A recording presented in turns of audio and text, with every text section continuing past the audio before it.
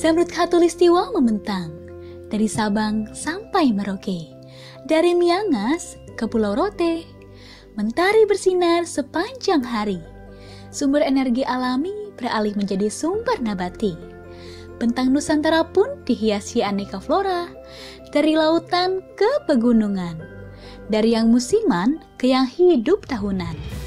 Tetap hijau lestari, bisa dinikmati semua insani untuk kejayaan negeri.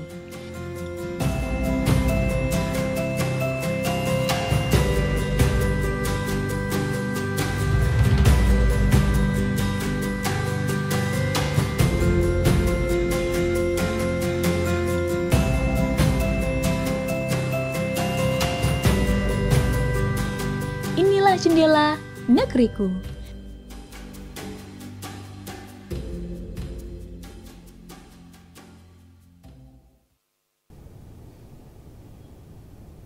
Assalamualaikum warahmatullahi wabarakatuh. Pemirsa UTV senang rasanya saya Budi Hermana kembali memandu sebuah program yang sangat spesial di UGTV yaitu Jendela Negeriku.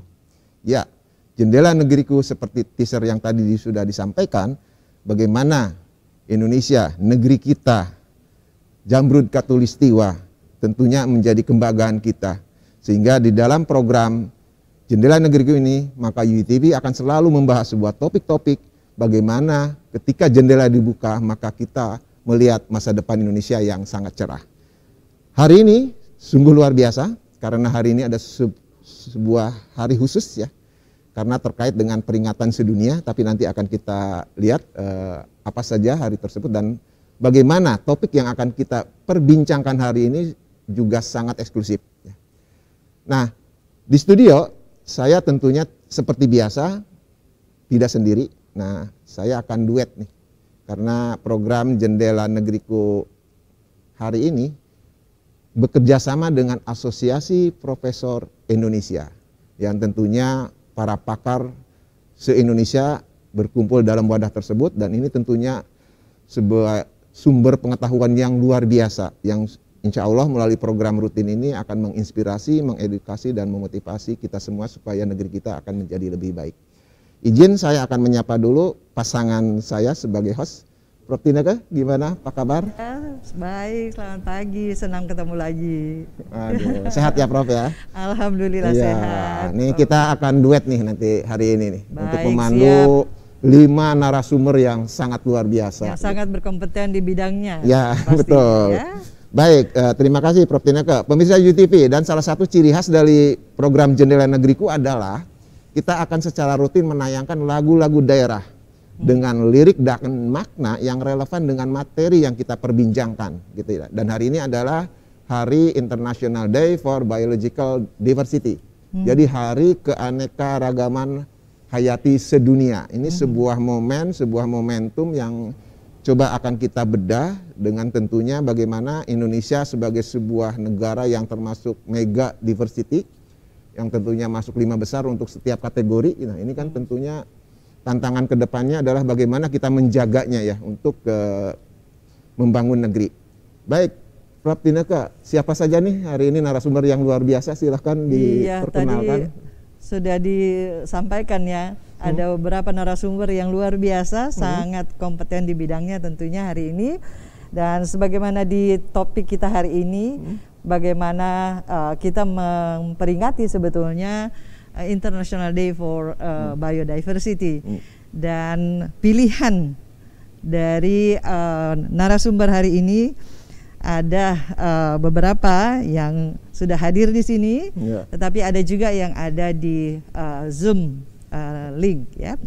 Nah, uh, Prof Budi, hmm. ini uh, ternyata uh, tantangan keanekaragaman hayati di Indonesia ini masih belum banyak diketahui orang, ya, belum betul. banyak diketahui masyarakat.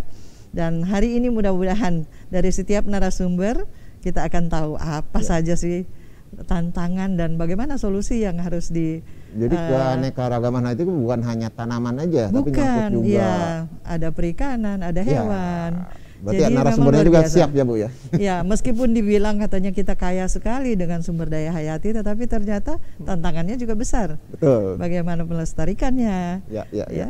Oke, jadi hari ini kita akan uh, mendengarkan uh, pemaparan bahasan dari beberapa narasumber yang sudah hadir di studio tentunya ada Prof Margianti. Hmm. Ya, pagi. selamat pagi Bu. Senang bisa bertemu di uh, acara ini. Guru besar sudah pasti dan Rektor Universitas uh, Gunadarma dan juga wakil ketua Asosiasi Profesor Indonesia. Uh, dengan kepakaran ilmu ekonomi, meskipun seolah-olah ilmu ekonomi itu jauh dari topik kita hari ini, padahal sebenarnya itu pasti ada kaitannya. Dan sebagai pemerhati uh, konservasi sumber daya lingkungan dan yeah. juga sumber daya hayati, saya kira Ibu Margianti nanti akan juga uh, memberikan uh, ulasan tentang itu, barangkali ada aspek ekonomi yang bisa disajikan, ya Bu ya. ya. Oke, okay. dan kedua ada Profesor Ari Purbayanto uh, dari Departemen Pemanfaatan Sumber Daya Pertanian, Perikan. Perikanan pertanian dalam arti luas ya, Prof. betul, betul. Kepiawaian guru besar ini ya. Spesifiknya perikanan. Tidak salah Dan juga. sudah pasti guru besar karena memang juga ketua dari Asosiasi Profesor Indonesia. Uh, spesialisasi kalau di Jepang itu mereka selalu menyampaikan ya. senmong. senmong. Jadi senmongnya uh, keahliannya. Hmm. Jadi interest penelitiannya apa begitu ya. Itu selalu disampaikan. Jadi Prof Ari ini pemanfaatan sumber daya perikanan, teknologi eh, penangkapan ikan, kemudian dinamika perilaku ikan. Hmm. Waduh, ikan aja dipelajari perilakunya ya. Ada psikologi ikan ya, Prof? Iya. Ternyata. Nah, psikologi baru fisiologi tahu behavior. Baru tahu sekarang ini ya, luar biasa. Fish behavior ya. Iya, fish behavior. Ya, dan luar biasa ya. Uh, tadi sebagai ketua API juga ternyata Prof Ari ini anggota Komnas Sumber Daya Ikan. Hmm dan juga KP2 um, Kelautan tim ahli Satgas 115. Yeah. Oh ini 115 apa ya? Ada artinya pasti ya. uh, dalam pemberantasan illegal fishing. Wow. Nanti kita juga akan dengar soal itu. Baik, berikutnya kita ada di sini Profesor Muhammad Syukur, yeah. uh, guru besar mungkin sudah pada kenal ya karena luar biasa. Ini menghasilkan cabai-cabai yang beraneka warna. Ya. beraneka jenis ya. Dari IPB University tentu uh, dengan Departemen Agronomi dan Hortikultura dan spesialisasinya adalah genetika dan pemuliaan tanaman. Uh, ketua PRIPI kemudian juga anggota Komnas Sumber Daya Genetika. Ya. Nah, tidak ketinggalan ada di uh, Zoom kita ada pakar juga terpilih untuk hari ini adalah Profesor Hadi Susilo Arifin. Sudah pernah juga tampil di sini ya, Prof? Sudah pernah. Ya, ya. Sudah. Guru besar IPB University dan dari Departemen Arsitektur Landscape dan spesialisasinya adalah Landscape Ecology dan Resource Management. Mm -hmm. Banyak nanti kita akan dengarkan ulasan beliau ya. tentang urban ya. farming. Ya, backgroundnya ya. juga nih luar biasa nih, Prof. Iya, kalau Gimana dilihat, Prof Hadi? Ya, sehat, Prof Hadi? Alhamdulillah sehat walafiat. Ah. Salam dari Pekarangan Laladon. Wow. Iya, saya baru mau bilang ini luar biasa penampilannya ini outfitnya beda dengan keren yang lalu sekali. Iya. Ini sudah menggambarkan juga keanekaragaman Iya. Sebetulnya ya. Alhamdulillah, betul. dari Sengaja saya berada di beda. beranda iya, belakang. Iya betul. Di pekarangan. Ya nanti kita akan dengarkan. Ada juga ikan. Ya. ya. ya. Ada ikan. Terima kasih. Siap. Nanti kita, kita akan dengarkan nanti ya. ulasan dari Prof Hadi tentang urban farming, kemudian bagaimana sih pelestarian yang harus dilakukan oleh masyarakat. Ya. Ya, ya. untuk sumber daya hayati. Baik, Uh, selain itu ada Profesor Bambang Purwantara. Selamat pagi, Prof. Profesor Bambang Purwantara. Sambil menunggu Selamat tayangannya. Pagi, semuanya di studio. Salam dari ya. Bogor. Oke, terima kasih sudah hadir, sudah bergabung. Profesor Bambang ya, Purwantara, guru besar IPB University dari Departemen Klinik uh, reproduksi biologi. uh, spesialisasinya bioteknologi reproduksi dan beliau baru saja menjadi katu, uh, ketua Asosiasi Reproduksi Hewan Indonesia. Ya Prof Budi, dulu kita rasanya belajar biologi namanya ilmu hayati ya. Sekarang kembali lagi dipakai istilah hayatinya untuk keanekaragaman hayati. Jadi biodiversity rupanya malah hayati. akhirnya dipakai istilah yang lama hayatinya malah diambil ya. Oke baik, saya kira Eh, pakar-pakar uh, kita sudah siap untuk menyajikan ilmunya terkait dengan sumber daya hayati. Terima kasih ya. Prof. atas perkenalan dengan narasumber yang sangat luar biasa. Kita akan mulai ya, Baik. kita. Saya akan mengutip kembali apa yang disampaikan Prof. Ya, tentang bagaimana kita menjaga keanekaragaman hayati, tetapi juga dari partisipasi masyarakat. Betul. Tadi Prof. memperkenalkan Bu Rektor sebagai pemerhati tapi ya. satu sisi sebagai anggota masyarakat yang tentunya peduli gitu ya. Betul. Dan mungkin izin uh, Bu Rektor kita ya, ngobrol-ngobrol ya, sekilas ya, ya kaitannya dengan peran uh, kita sebagai anggota masyarakat dan khususnya perguruan tinggi dalam hal ini perguruan tinggi swasta Universitas hmm. Dharma. Uh, saya kan tahu persis ya kita punya teknopark ya, ya, bisa dimanfaatkan untuk koleksi tanaman. Yeah. Mungkin nanti uh, guru juga akan akan menambahkan sekilas tentang Teknopark sambil baik. kita ngobrol-ngobrol. Baik, hmm. baik. Direktur silakan kalau ada beberapa hal sebagai prolog untuk disampaikan ke masyarakat. Oh, silakan. baik. Pertama-tama tentu saja penghargaan dan terima kasih kepada API yang telah memulai program pertama hari ini, langkah awal dan saya kira ke depan akan kita lakukan secara terus-menerus uh, konsisten acara yang ada. Jadi dalam kaitan untuk acara biodiversity hari ini uh, kebetulan di Gunadarma itu uh, sudah melakukan beberapa langkah pembangunan uh, penyiapan teknopark. Teknopark itu terletak di daerah Cikalong, Cikalong Wetan ya Pak, Cikalong Wetan. Nah, ya betul. Ini, just, uh, ini pernah ke sana kan? Sudah. Ya, Ibu Tina ke pernah ke sana. Nah, di sana itu adanya di Desa Mande. Jadi ini sekaligus kita katakan sebagai kampus M karena Mande. Hmm. Di Desa Mande kampus M. Uh, luasnya nantinya akan 62 hektar. Saat ini mungkin sudah 6 hektar yang sudah dibuka dan ya sudah uh, banyak macam-macam yang dilakukan di sana. Akan tetapi agak tertahan sedikit dengan adanya COVID ini. Tadi berbagai hal uh, nah ini ada warung kebun. Warung kebun itu ngobrol-ngobrol.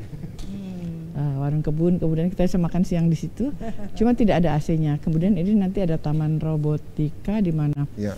para pengunjung bisa melakukan berbagai hal yang berkaitan dengan uh, robot. Kemudian uh, ada beberapa mobil-mobil yang dijadikan uh, pot ya pot tanaman. Jadi tanamannya itu uh, aneka aneka ragam ada ada istilah apa yang uh, kebun systematical garden. Ya, systematic garden. Kemudian juga ada koleksi tanaman langka itu. Koleksi tanaman uh, di sana. Kemudian juga ada beberapa lab yang merupakan pengembangan ataupun lab akademik dari uh, program studi yang ada. Yeah. Katakan seperti lab apa ya hidrolika itu kan mahal sekali sekian 50 hmm. meter. Nah itu kita coba buatkan di situ untuk hmm. uh, apa menghitung arus air. Hmm. Katakan juga untuk uh, bagaimana kita juga memanfaatkan solar cell yeah, untuk sebagai sumber daya. Pokoknya apa yang bisa dilakukan dalam pengembangan ilmu terhadap hmm. semua bidang yang kita kebetulan punya hmm. itu dikembangkan. Sky is the limit. Tapi kalau kita tidak punya, maka kita mengundang orang yang bisa dan punya untuk hmm. uh, saling membantu demi uh, kebersamaan itu kira-kira Pak? Ya. Baik, terima kasih Ibu. Ini uh, sebuah apa tayangan yang mungkin Insya Allah memantik diskusi kita ya kaitannya dengan arek aneka ragaman apa tanaman yang ada ikannya juga ya. Ada ikannya juga, ada, ada beberapa kolam Pak Ari. Jangan takut Pak Ari ya, jangan takut kami siapkan udah ada enam kolam. Enam kolam. Tapi belum ada isinya. Mungkin nunggu Prof Ari begitu. ya. juga ada ini loh, masjid Masjid juga ya, Masjid, betul. Nah ini Imam tanamannya semuanya pakai QR code ya. Betul. Ya. Ya, nah ini koleksi tanaman langka yang disatukan dengan apa systematic garden systematic garden mm -hmm. itu katanya dulu hmm? bapak belajarnya ke Leiden ya nggak, nggak saya nggak diajak iya tapi eh, atas atas tugas dari ibu juga sih. ya di sana ada botanical garden ya di Leiden. Di Leiden. Ah, ini greenhouse nih. Betul. Ada greenhouse nih Pak Syukur. Ya, siap. Ya. Waktu itu kan kita janji mau sana. Ada cabenya tuh. Kita Waktu itu cabai Nusantara di sini ya. di sana. Oh, cabai Nusantara. ini uh, nah de dekat sana ada SMK. Jadi walaupun ada Covid, mereka hmm. juga memakai untuk praktek itu. Hmm. Terus mereka kalau ketemu sama guru besar IPB dia bilang Uh, saya bilang ini guru besar IPB oh, nanti kamu bisa minta. Bentar Bu, itu yang mobil-mobil bekas jadi pot itu ya? Uh, iya betul. betul. Iya, jadi pot ya. Uh, ya daripada tidak terpakai ya. dijadikan pot. Nah ini rumah pohon kita bisa juga nah, melihat. Kita bincang-bincang dengan Prof Hadi di sini. Di ya? bawah saya, uh, kita bikin studio alam di situ. Ya. Banyak yang bisa dikembangkan. Yang paling uh, harus dicoba adalah sate marangi Desa ya. Mande. Nah di situ oh. setiap kali tamu datang kita buatkan secara khusus kan itu makanan khas di sana. Hmm. Ini terus kita juga kakinya nggak usah takut capek karena ada elektrikal sama hmm. juga ada mobil golf ya mobil golf. Kalau untuk karena keliling itu juga jauh sekali. Tapi kalau buat Pak Syukur yang masih muda sih nggak apa-apa. Tadi luasnya berapa hektar, Bu? 62, 62 nantinya. 62 hektar uh, ya. ya. Untuk tanaman keras itu sudah di set up uh, di uh, keliling uh, sesuai dengan hmm. apa? Ada juga zona untuk Nah, ini ada sudah ada energi suryanya juga. Energi hmm. surya. Kemudian pengairan yang ada itu kita pakai sistem hidrolik. Jadi tidak pakai uh, listrik. Uh, dengan memanfaatkan kontur tanah. Beda elevasi kan? Ada itu 15 meter ya oh, ya ketinggiannya. Iya. Hmm. Jadi semua uh, sistem penyiraman ataupun ada sistem air air muncrat ya belum ya, air mancur soalnya masih kecil cuma karena masih satu dalam meter. pengembangan jadi masih muncrat ke mana-mana ya bu ya belum tertata tadinya maunya ada apa air mancur menyanyi dan Irama menari ya. gitu ya nantinya oh, oke okay. tapi sebetulnya kan udah siap juga yang satu kotak apa ya, kotak betul. untuk buat permainan cahaya uh, ya. jadi ya. lighting ya. Uh, show ya ya betul yang seperti di Jatim Park itu ya. kita juga sedang hmm. uh, sudah pengembangan ya Nah, nanti kalau mungkin Prof Syukur atau ada Prof, Prof Arik uh, ikan ya. Hmm. Prof Syukur ya. pemulihan tanaman kalau mau bikin Wah, sudah produksi itu Pak marigold yang katanya perlu 50 ton itu ya. menurut saya di situ Siap. masih ya. masih kosong ya Bu ya banyak. Iya, iya, ditunggu. Bu, Bu Tina tuh yang sudah ke sana tuh udah ya. kosong semua. Baik, baik Ibu.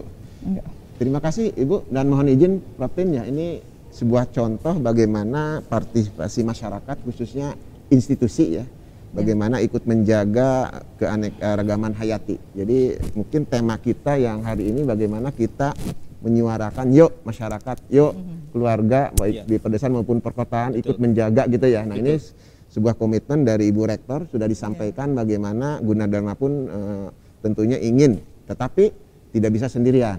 Betul. Sehingga kami sangat uh, memohon Ibu Rektor juga dengan mengundang Bu Tin ke sana pun dalam rangka masukan juga kan gitu ya. ya bagaimana uh, ini adalah kerja bareng gitu. Ya. Hmm. Nah, sangat menarik saya izin Prof Tin nih. Ya. Itu kan institusi ya. Betul. Ketika pemberdayaan masyarakat pasti keluarga. Hmm. Nah ini ada Prof Hadi nih, kan itu ya. Betul. Nanti Prof Hadi pun sebagai salah satu bagaimana keluarga ataupun uh, masyarakat ya bisa hmm. memanfaatkan lah yeah. lahan karena kan walaupun sempit kan ada istilah vertical farming vertical, kan itu ya. Iya. Ada kan vertical farming. Nah, mungkin nah, izin sebelum kita Prof Tim sebelum menja, apa menyapa dan berdiskusi dengan Prof Hadi, ya. ada sebuah tayangan ini menunjukkan bagaimana aktivitas Prof Hadi dengan memanfaatkan pekarangan. Silahkan.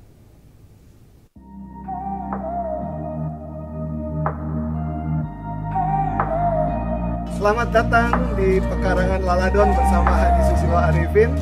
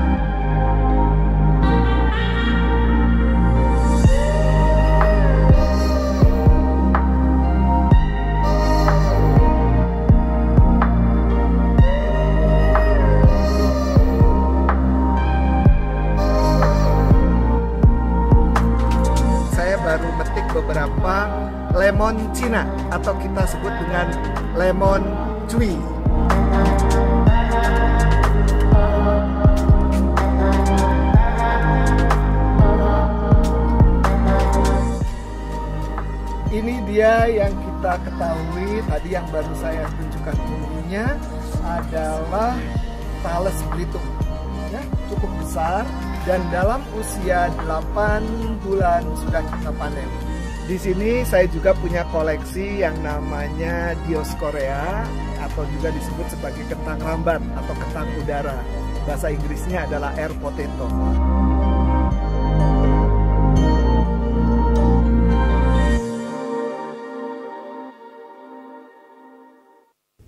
Pemirsa UTP luar biasa tadi dua tayangan yang satu komitmen dari sebuah institusi dalam Universitas Gunadarma dan yang satu lagi bagaimana kontribusi dari masyarakat, anggota masyarakat khususnya di perkotaan bagaimana memanfaatkan pekarangan itu menjadi semacam koleksi tanaman lokal dan itu sungguh luar biasa menginspirasi.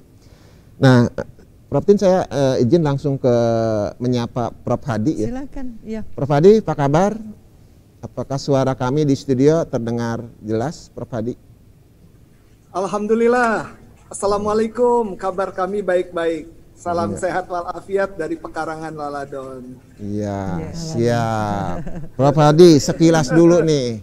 Sekilas dulu kasih gambaran ke masyarakat eh, melalui GTV dan tentunya ada beberapa peserta yang juga tergabung ke melalui aplikasi Zoom tentang konsep dasar urban farming sekilas nanti baru untuk pemantik diskusi dialog dengan uh, kami di studio. Silakan Prof Hadi.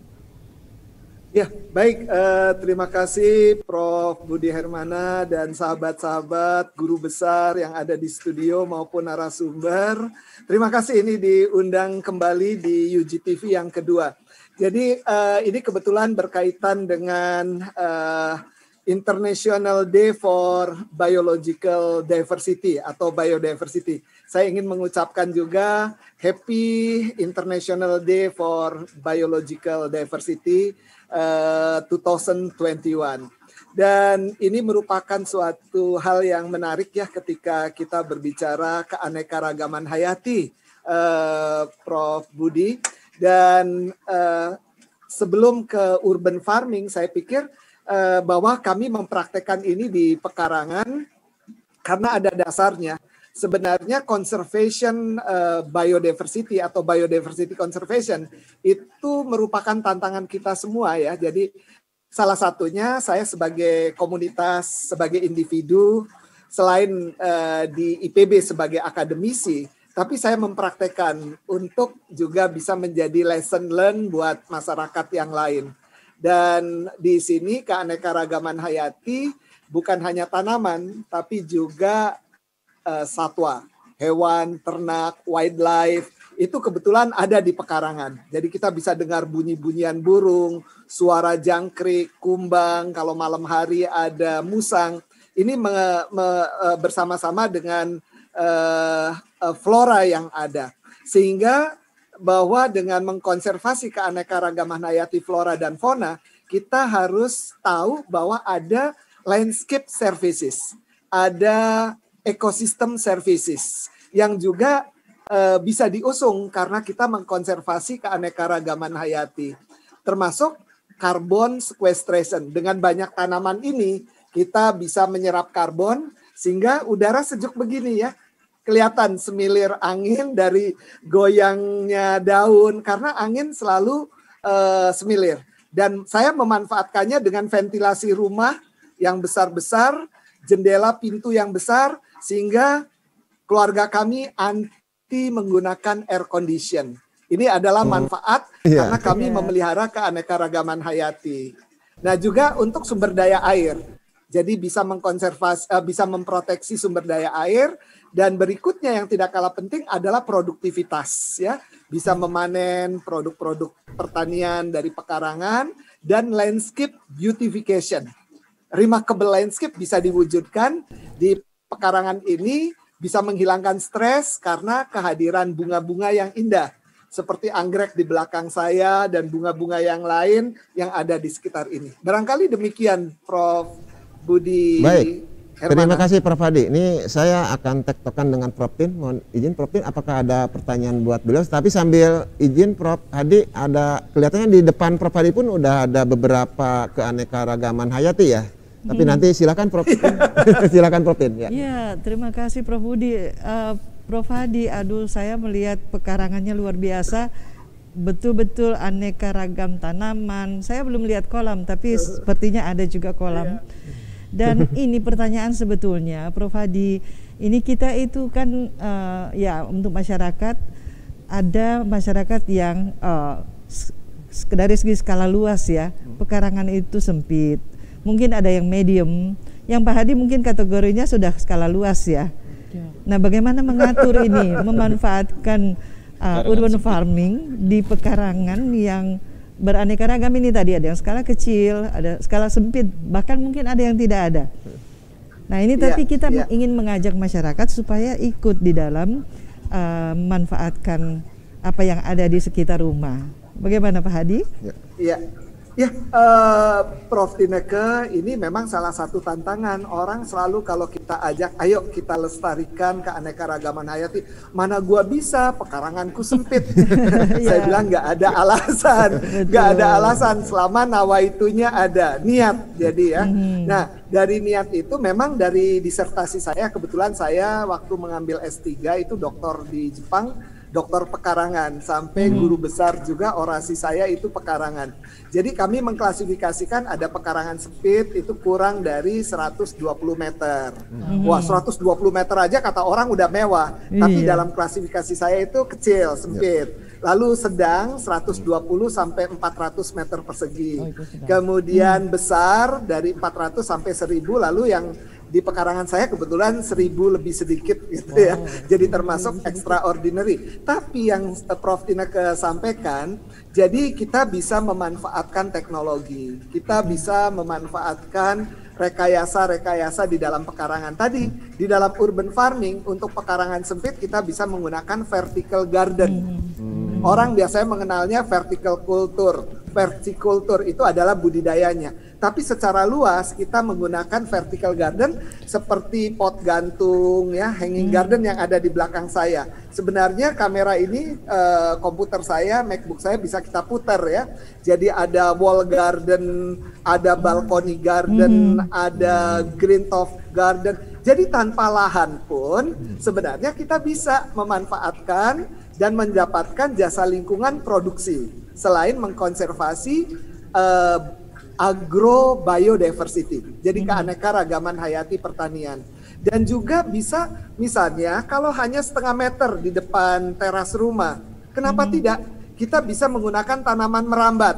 Bisa kacang panjang, bisa timun, bisa labu, bisa paria, macam-macam. Hanya sesempit itu. Lalu kita buat para-para dan itu pun kita bisa koleksi dan manfaat jasa lingkungannya ada hembusan angin terjadilah eh, matahari penyinaran asimilasi lalu menyerap CO2 udara suhunya menjadi turun mengeluarkan O2 udara di ruangan menjadi sejuk karena ada O2 nah ini bisa dilakukan Prof. Ineke sambil dipanen produksinya.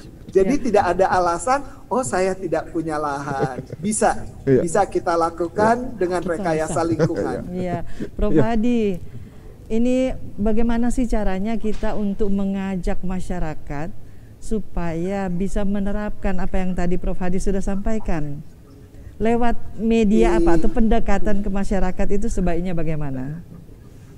Ya, eh, ini memang kalau konvensional sebelum medsos berkembang, sejak saya pulang dari Jepang 98, kebetulan kalau kami kan akademisi dan peneliti ya, Baik. jadi kami punya desa binaan. Nah dari binaan itu kita lakukan penyuluhan, tidak selalu formal dalam konteks riset. Jadi keluarga saya kebetulan dengan nyonya sama-sama di landscape eh, agriculture, kita menyuluh kalau ada waktu senggang Sabtu Minggu. Itu yang konvensional.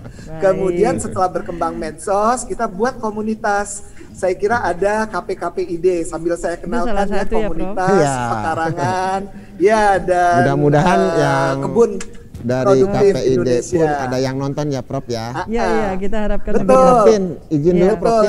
Prof ya, Hadi tahan dulu nih. Ini diskusi kita ya. sangat menarik nih. Iya. Tetapi nanti mohon izin Prof Hadi tetap gabung karena nanti Prof Hadi pun akan memberikan ya. tambahan-tambahan dan inspirasi ke, terkait dengan tanaman ya. Nanti Prof Hadi pun ikut memberikan tanggapan ataupun tambahan informasi ke materinya Prof Syukur dan ya. Prof uh, Bambang terutama ya nanti uh, closing remarknya dari uh, Prof Ari gitu. Ya. Izin Prof ya Pemirsa TV, ini bincang-bincang yang sangat menarik bagaimana dua narasumber pada segmen yang pertama ini sudah memberikan contoh konkret bagaimana institusi dan anggota masyarakat itu ikut berkontribusi dalam menjaga keanekaragaman hayati.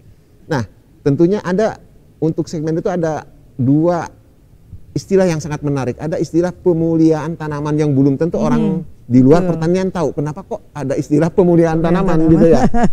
Saya dulu pernah apaan sih? Emang tanaman perlu dimuliakan kan gitu ya. Hmm. Kemudian ada istilah sumber daya genetik. genetik. Yep. Pemirsa, nanti akan kita bahas pemulihan tanaman dan sumber daya genetik eh, di segmen 2 setelah jeda berikut. Silakan.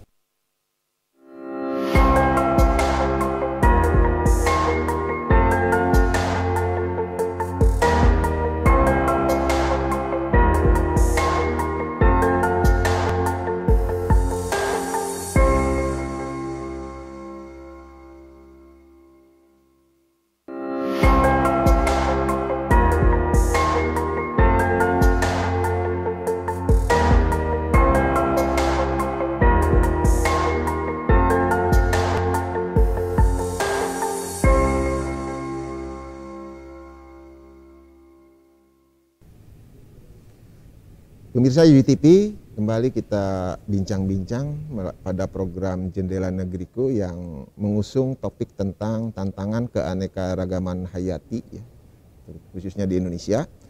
Pada segmen pertama tadi sudah kita sampaikan tentang keragaman, eh, bagaimana upaya menjaga keragaman hayati itu dari partisipasi institusi dan masyarakat perkotaan kan gitu. Nah yang menarik tadi di penghujung eh, segmen satu tadi saya sudah semacam teaser lah untuk materi diskusi segmen yang kedua ini tentang pemuliaan tanaman dan juga eh, ada istilah sumber daya genetika tanaman. Mm-hmm. Tapi sebelumnya saya mengucapkan terima kasih kepada pemirsa UGTV yang tetap setia nonton UGTV baik yang ada di Jabodetabek melalui pesawat digital untuk eh, channel 32 UHF maupun yang TV analog untuk eh, channel 54 UHF. Namun karena UGTV adalah TV komunitas yang pertama di Indonesia mendapat uh, izin untuk siaran digital, maka jangkauannya pun ya istilahnya itu ya mendunia ya.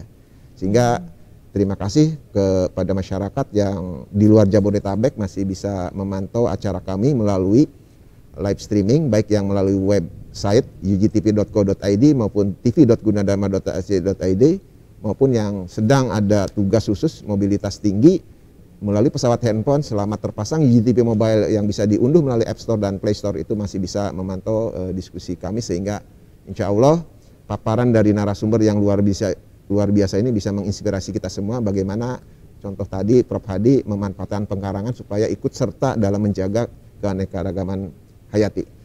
Baik, saya menyapa lagi Prof. Tin. Nih. Nanti kita ada Prof. Syukur nih kelihatannya udah siap-siap tapi ya mungkin silakan Prof. Tin ngasih prolog iya. sambil nanti mengantarkan. Ada sebuah persembahan dari Prof. Syukur sebelum nanti dialog ke ya, Prof. Silakan Prof Tin ya. Ini kelihatannya masuk ke topik yang kelihatannya seperti berat ya. Iya, betul. Namanya aja pemuliaan kemudian genetik sumber daya genetika. Hmm? Ini sepertinya berat tapi nanti Prof Syukur akan ya. membuat itu supaya lebih ringan dan lebih, lebih mudah diterima betul. oleh masyarakat. Hmm. Apa sih sebetulnya itu ya? Ya, betul. Dan uh, sebenarnya kalau kita lihat di masyarakat ini banyak juga petani misalnya yang mengembangkan atau menemukan benih-benih mm-hmm. untuk tanaman tetapi ternyata kan tidak begitu mm. saja bisa digunakan mm. oleh masyarakat. Nah, mm. ini sebenarnya terkait dengan regulasi. Betul. Dan ini uh, ya banyaklah kita dengar di masyarakat yang mm. ternyata akhirnya harus uh, berujung dengan uh, hukum yeah. gitu ya karena memang ada aturan sebetulnya untuk pemanfaatan benih-benih uh, atau yeah. varietas baru yang berkembang di masyarakat. Yeah. Nah ini nanti Prof Syukur akan yeah. uh, bicara banyak mengenai kita itu. Kita relaksasi Tapi, dulu nih. Kayak. Betul betul. Jadi nanti uh, kita dengar dulu lah apa yeah. persembahan dari Prof Syukur ya, multi talenta. Jadi yeah. selain sebagai pakar pemuliaan juga bisa ber nyanyi, menari dan sebagainya. Oke, kita lihat ya. Ya,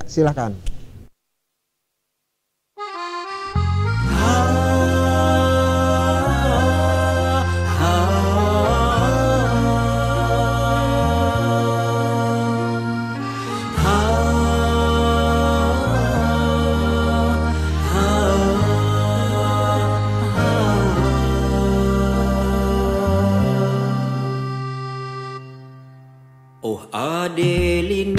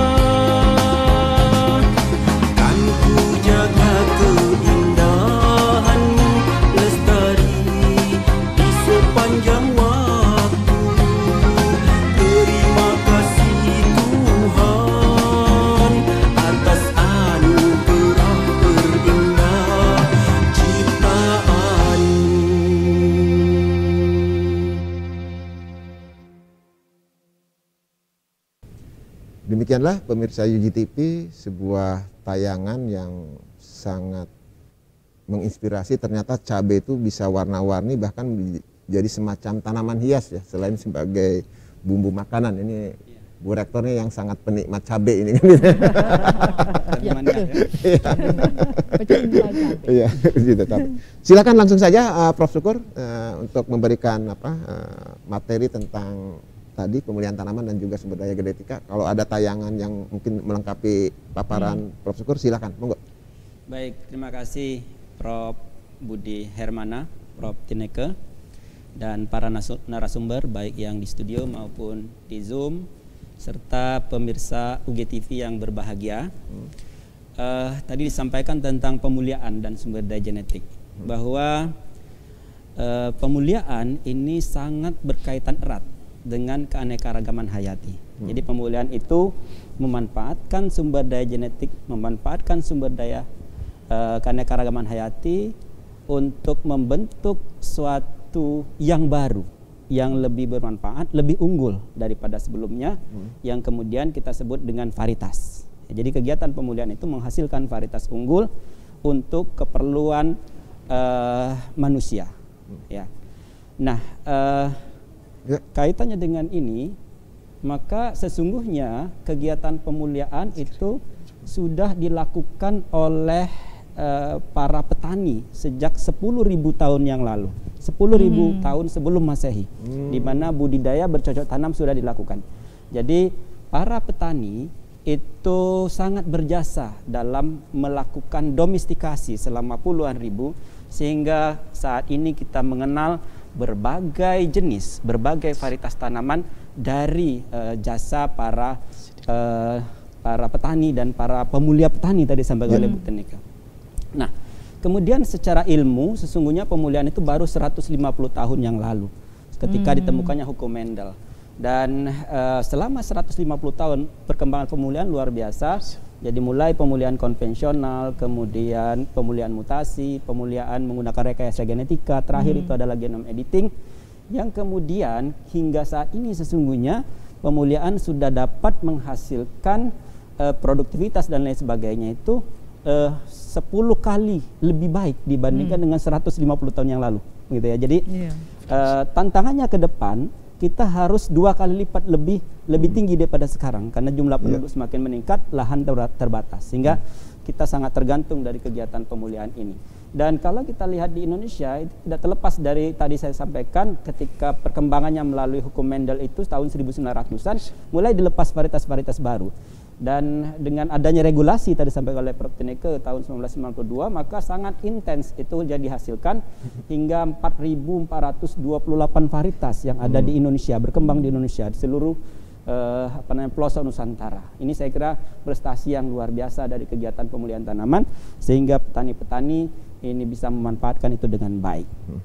Nah, pemulihan tanaman juga uh, apa menghela suatu teknologi lain, teknologi budidaya hmm. hmm. yang kemudian uh, ada yang disebut dengan revolusi hijau. Hmm. Kita kenal di Indonesia panca usaha tani, sabta usaha tani itu adalah uh, pengejauhan tahan dari kegiatan pemulihan tanaman ketika menghasilkan varietas baru, kemudian diikuti oleh teknologi-teknologi baru, pola-pola budidaya dan sebagainya yang yang kemudian menghasilkan uh, produktivitas dan kualitas yang lebih baik. Ini contoh tadi yang sampai oleh ya. uh, Prof hmm. Budi berbagai ya. macam uh, warna-warni dari ya. cabai yang tidak ada menjadi ada, yang warnanya satu menjadi warna-warni dan sebagainya itu adalah bagian dari kegiatan pemulihan tanaman dalam rangka meningkatkan kualitas misalnya, ya. selain daripada meningkatkan produktivitas. Hmm. Nah, namun demikian uh, ketika varietas itu dihasilkan dan teknologi budidaya itu dihasilkan, maka pola budidaya juga uh, berubah. Hmm. Yang tadinya uh, tradisional menjadi sangat uh, modern dan menuntut uh, sesuatu yang uh, apa namanya keseragaman yang sangat tinggi. Hmm. Dengan keseragaman yang sangat tinggi, maka penggunaan varietas itu menjadi sangat terbatas. Jadi misalnya dalam skala luas itu hanya satu varietas. Bahkan kita kenal di Indonesia pada uh, waktu revolusi hijau, pada waktu orde baru itu uh, varietas IR ya IR64 hmm. tuh yeah. bisa untuk lebih dari ya. untuk, untuk padi, padi ya untuk padi varietas IR64 itu sangat sangat terkenal itu lebih dari 50% petani menggunakan IR64. Hmm. Nah, ini ini uh, perlu kita cermati lagi bahwa ada ekses negatif dari penggunaan varietas unggul itu. Selain daripada tadi peningkatan varietas unggul itu juga meningkatkan produktivitas sehingga mengurangi kelaparan, mengatasi kelaparan berbagai belahan dunia. Tapi kita lihat bahwa in, dengan uh, pemulihan yang sangat intens itu mengurangi uh, keragaman yang ada di dunia ternyata. Yeah. Kalau kita hmm. lihat terjadi erosi sumber daya genetik yang dapat mencapai 75% hmm. dari yang ada sebelum-sebelumnya yang luar biasa banyaknya karena uh, apa petani menggunakan varietas yang uh, apa uh, sangat terbatas begitu misalnya hmm. jumlahnya varietas hibrida apalagi misalnya begitu hmm sehingga varietas-varietas lokal mulai tersingkirkan di petani. Varietas-varietas yang unik itu mulai tersingkirkan diganti dengan varietas baru yang lebih unggul. Saya kira varietas baru yang lebih unggul itu sangat baik untuk meningkatkan produktivitas dan kualitas, tapi uh, mulai ada uh, pergeseran pengurangan daripada uh, sumber daya genetik. Nah, oleh karena itu perlu ada langkah-langkah antisipasi. Kita hmm. lakukan konservasi. Tadi yeah. disampaikan oleh Prof Margi bahwa konservasi hmm. salah satunya kita lakukan di ex situ yeah. oleh lembaga pemerintah maupun okay. oleh lembaga-lembaga uh, yeah. uh, seperti Dharma tadi sampaikan, yeah. begitu ya. Dan uh, ini sangat penting. Yeah. Uh, pemerintah uh, sangat apa namanya uh, berkewajiban untuk mengkonservasi sumber daya genetik yang kalau tidak dikonservasi dia bisa punah, gitu ya. Hmm. Harus ada undang-undang yang mendasari itu. Yang sampai saat ini belum selesai-selesai juga undang-undang sumber daya genetik, gitu ya. Sampai sekarang belum dijadikan undang-undang, masih rancangan undang-undang. Kemudian eh, dengan adanya lembaga itu maka sumber daya genetik yang ada di Indonesia dan dunia itu bisa dikonservasikan dengan baik. Ya. Yang tadinya terancam punah bisa dikonservasikan dengan baik. Namun demikian juga konservasi in situ tidak kalah menariknya, melibatkan uh, pemangku kepentingan di tempat tersebut, di daerah-daerah tersebut. Jadi di varietas-varietas lokal di bawah uh, apa namanya wewenangnya bupati, gubernur ya, bahkan uh, tingkat kecamatan, desa itu juga uh, berperan dalam mengkonservasi. Jadi me melakukan apa namanya uh, uh, pemeliharaan sumber daya genetik lokal. Bahkan hmm uh, Kementerian Pertanian sangat mendorong untuk memberi nama memberi hmm. nama dari varietas-varietas lokal. Hmm. Karena kita merasa punya banyak varietas lokal tapi tidak terdata dengan baik. Yeah. Apa aja yang kita punya? Tidak ada database-nya yang yang optimal begitu ya. Jadi hmm. uh, Kementerian Pertanian sangat mendorong untuk mendata uh, sumber daya genetik ada. Yang berikutnya tadi sampai oleh Prof Hadi bahwa konservasi di pekarangan. Jadi hmm. masyarakat yang mengkonservasi itu saya kira sangat sangat sangat baik karena uh, konservasi sumber daya genetik melalui ex situ melalui ini memerlukan biaya yang sangat mahal. Jadi kalau hmm. masyarakat dilibatkan, masyarakat uh, pekarangan, petani dan lain sebagainya itu dilibatkan, maka ini uh, apa membantu sangat membantu pemerintah dan sangat membantu untuk mengurangi erosi genetik tadi. Hmm. Pekarangan itu memegang peranan penting untuk mengkonservasi ini. Yeah. Kemudian uh, peningkatan kesadaran masyarakat di ya. uh, tempat sumber daya genetik itu. Jadi hmm. jangan sampai uh, yang sudah hampir punah menjadi betul-betul punah. Itu harus ya. diselamatkan gitu ya. Jadi uh, kita ada juga yang disebut dengan uh, indikasi geografis. Kalau ya. misalnya ya. dia memang uh, bagus untuk dikembangkan, maka dilindungi melalui indikasi geografis sehingga termanfaatkan dengan baik. Kebetulan saya juga di tim ahli di indikasi geografis. Ya. Kemudian yang tidak kalah pentingnya uh, dewasa ini adalah e-commerce. Jadi sumber daya genetik itu bisa terdistribusikan melalui e-commerce, begitu ya. Nah, jadi uh, sebarannya masif sekali melalui ini karena semua orang bisa mengakses. Nah, oleh karena itu kita perlu dukung uh, sebaran sumber daya genetik melalui e-commerce ini. Gitu. Okay. Tadi sampai oleh Prof. Teneke, memang peraturan perundangan kita uh, apa namanya sangat mengatur dengan baik bagaimana uh, penyebaran Eh, hasil-hasil pemulihan berupa varietas hmm. itu diatur melalui undang-undang bahwa harus hmm. ada pelepasan varietas, harus ada uh, sertifikasi.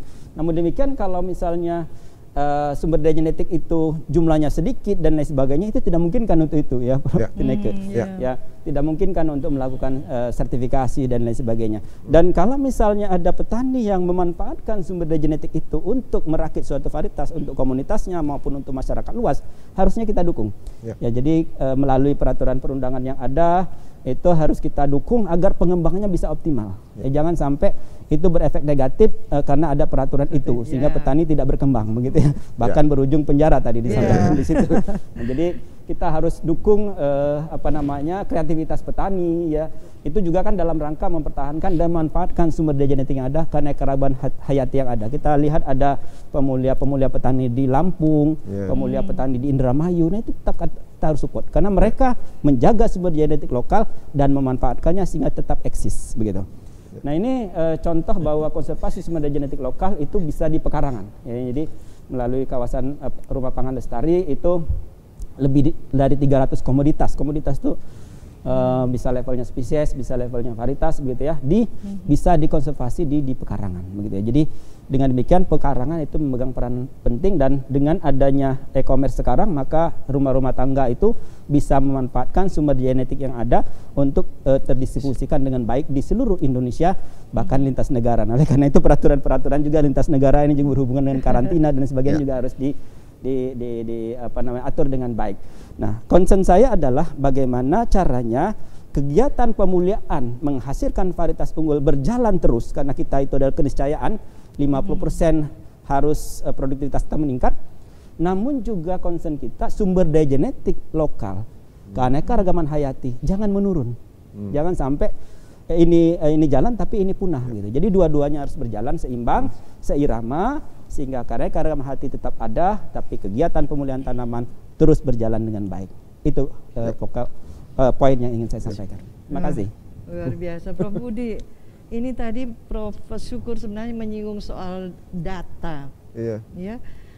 Tadi ada perkembangan varietas, perkembangan uh, ya berbagai uh, tanaman dan sebagainya. Ini kebetulan tanaman ya. Nah ini bagaimana sebetulnya pendataan dari database-nya? Karena kan uh, sudah ditemukan varietas baru tetapi tidak ada data. Mestinya kan itu lengkap ya. Nah itu sebenarnya lembaga mana nih yang harus melakukan itu? Karena uh, jangan sampai nanti generasi berikutnya sudah tidak tahu yang namanya tanaman cabai itu seperti apa sih tanaman gedi bu ya. uh, prof tanaman gedi itu seperti apa nah itu ya. kan kalau ada database-nya tentu akan uh, bisa dimanfaatkan oleh generasi berikutnya dengan eh, data-data uh, yang lengkap itu ya. ya. Bagaimana, Prof? Baik, makasih, Prof. Jadi saya kira pertanyaan yang sangat menarik ya, uh, bahwa data itu menjadi sangat penting. Pada level varietas itu data itu ada di Kementerian Pertanian hmm. melalui Pusat Perlindungan dan uh, Pusat Perlindungan Varietas dan Perizinan Pertanian. Okay. Semuanya terdata ke sana, baik yang sudah dilepas, yang terdaftar maupun yang hasil uh, kreativitas dari para pemulia hmm. dan juga varietas lokal. Nah, Kementerian Pertanian melalui uh, pemerintah daerah ini sangat mendorong agar varietas-varietas terdaftar di sana. Gitu ya. Hmm. Nah, tetapi yang bukan berupa varietas, nah ini yang bukan berupa varietas, itu yeah. yang belum belum ada datanya. Ya, hmm. jadi itu yang sangat banyak begitu ya, sangat banyak ada di masyarakat, belum terdata hmm. dengan baik. Hmm. Nah, ini ini menjadi peran suatu lembaga tertentu, lembaga pengelola sumber daya genetik yang saya katakan hmm. tadi undang-undangnya selama 10 tahun nggak jadi-jadi begitu ya.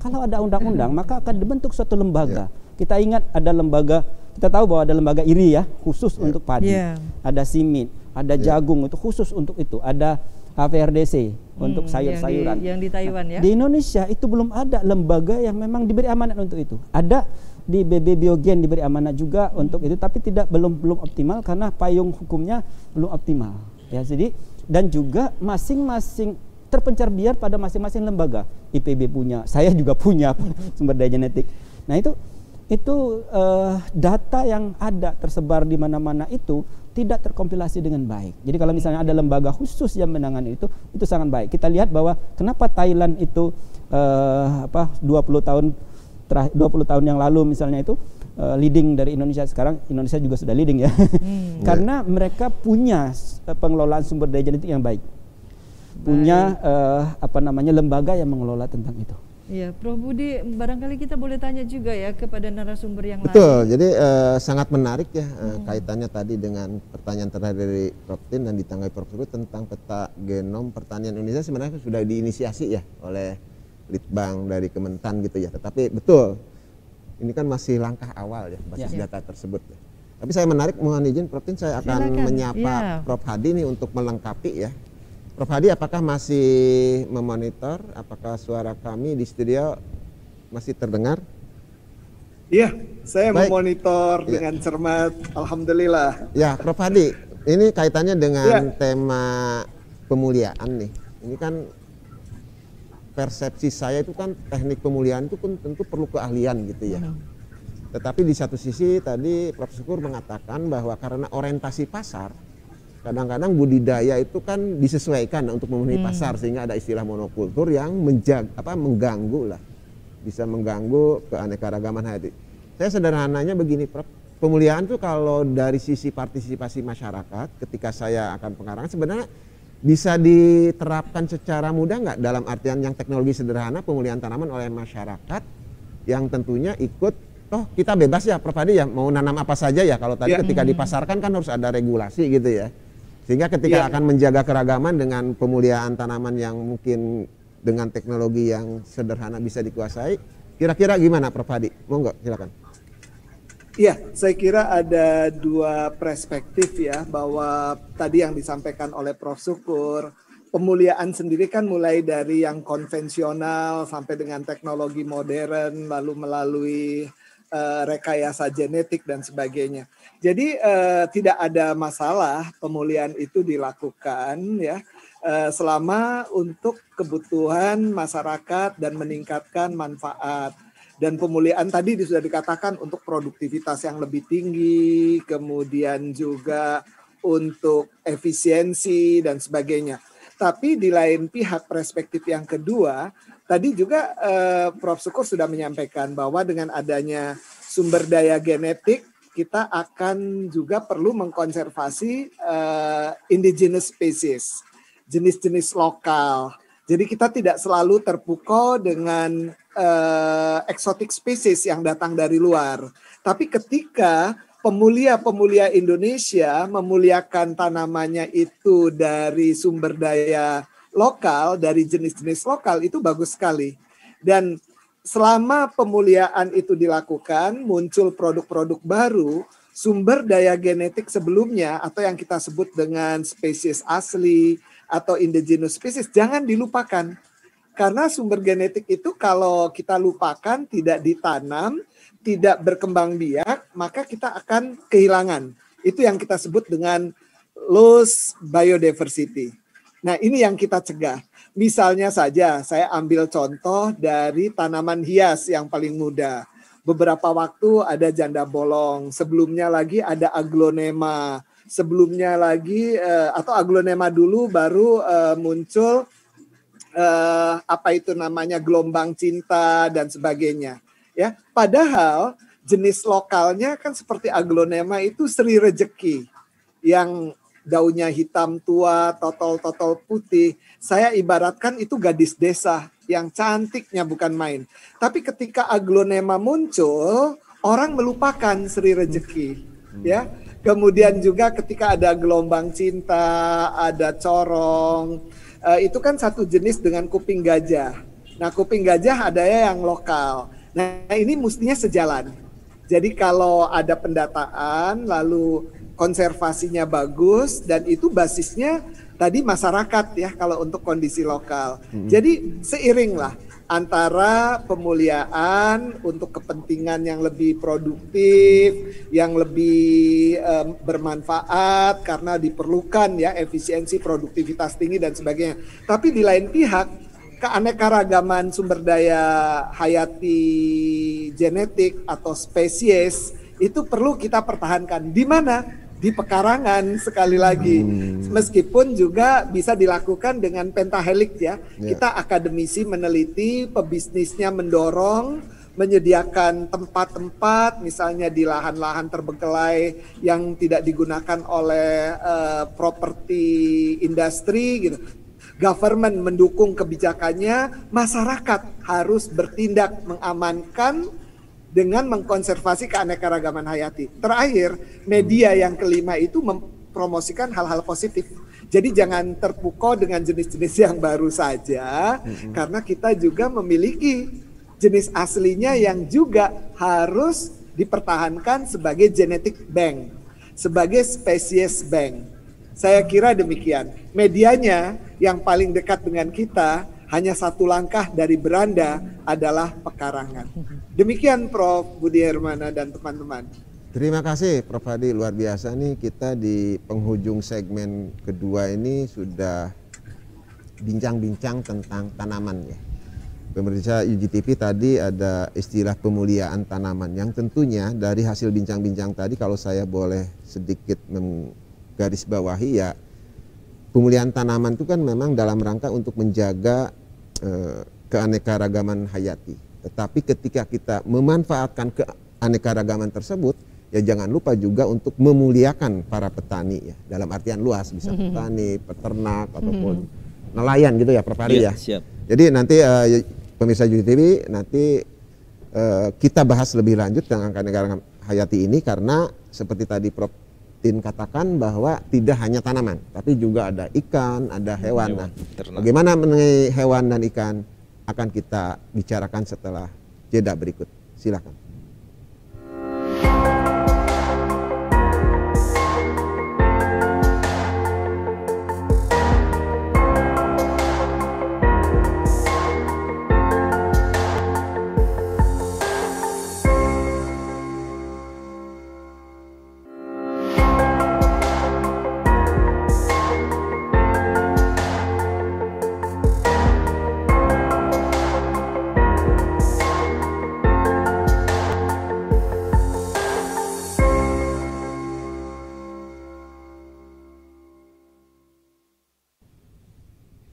UTP kembali pada program Jendela Negeriku pada segmen yang ketiga yang di penghujung segmen 2 dikatakan bahwa keanekaragaman hayati itu tidak hanya sekedar tanaman.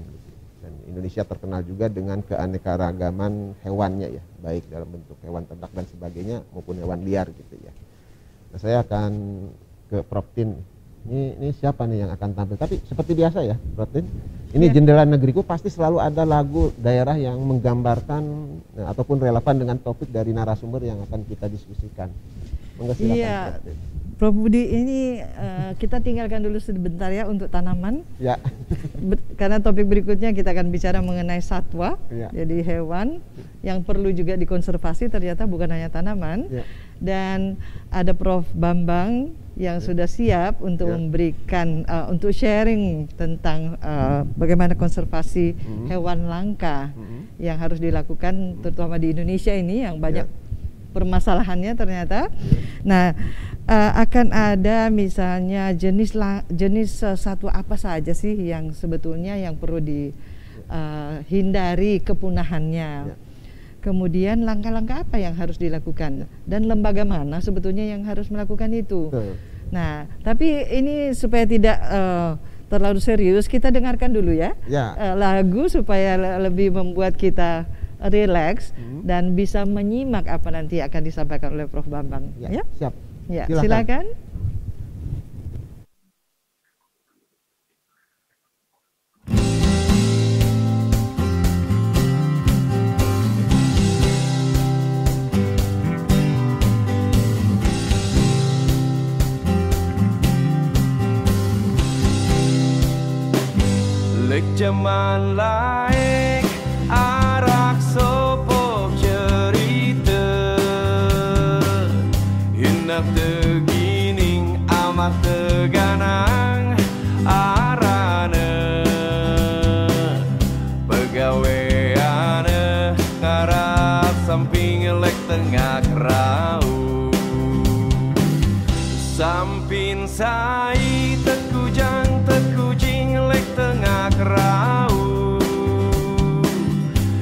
Hinak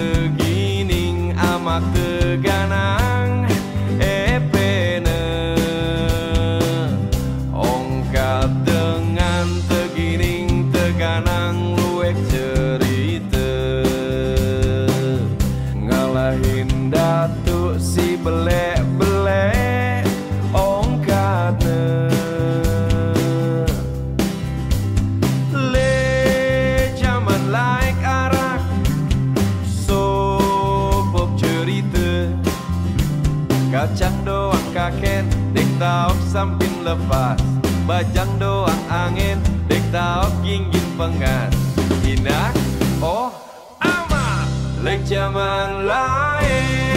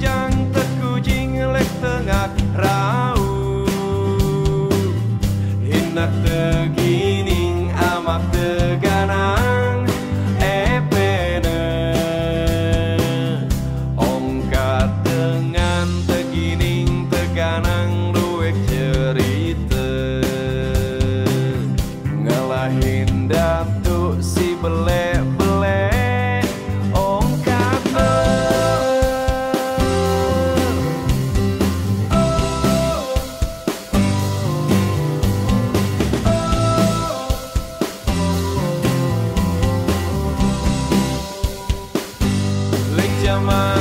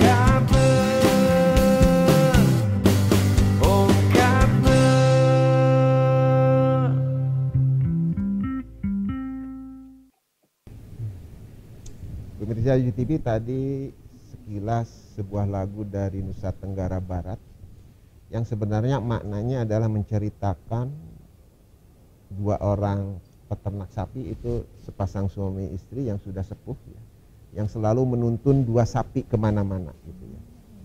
Kemudian di jalan pedesaan ketemu seseorang yang lain yang merasa kehilangan sapi gitu dan berburuk sangka bahwa sapi yang hilang itu adalah dibawa oleh peternak sapi ya.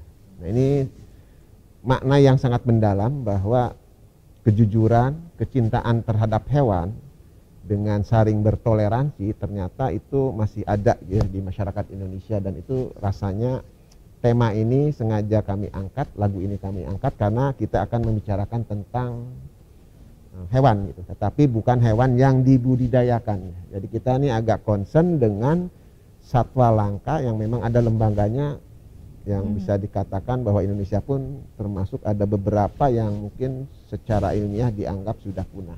Tetapi untuk lebih lengkapnya Silakan Prof Bambang, eh, apakah suara kami di studio terdengar jelas untuk paparan awal untuk pemantik diskusi kita di dialog interaktif. Silakan Prof Bambang.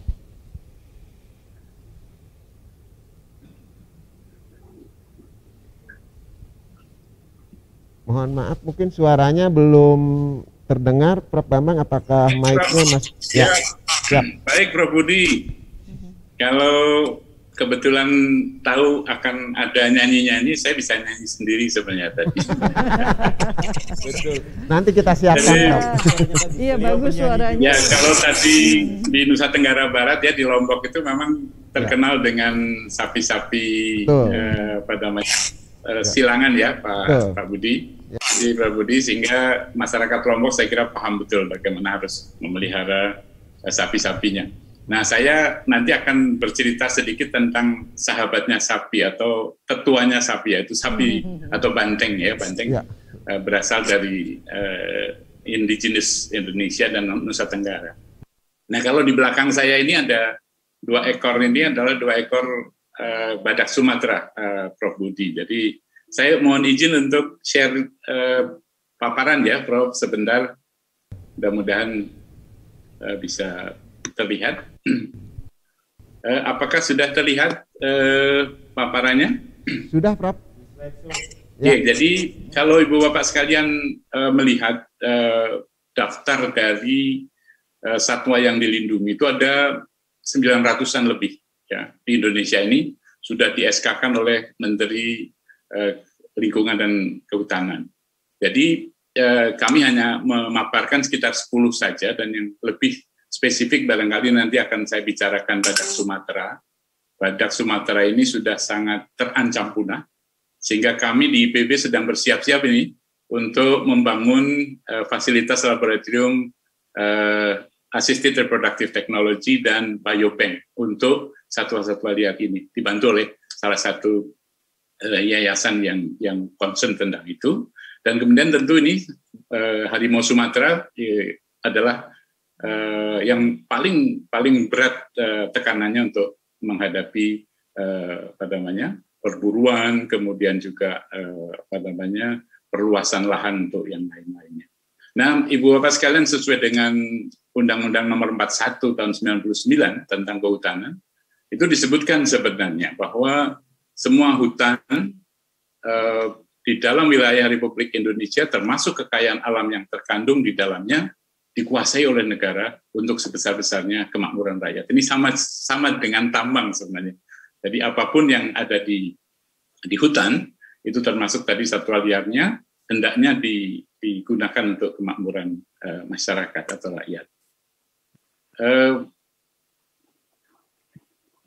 ya, uh, ibu bapak sekalian, saya kira untuk keanekaragaman hayati satwa ini ada ada pendekatan-pendekatan yang uh, ini kebetulan ada bioekonomi nih Prof Budi. Jadi uh, tidak tidak dalam pengertian bahwa aneka ragaman hayati ini juga mencakup biopolitik dan bioekonomi, termasuk bagaimana kebijakan-kebijakan yang mengatur ke sana.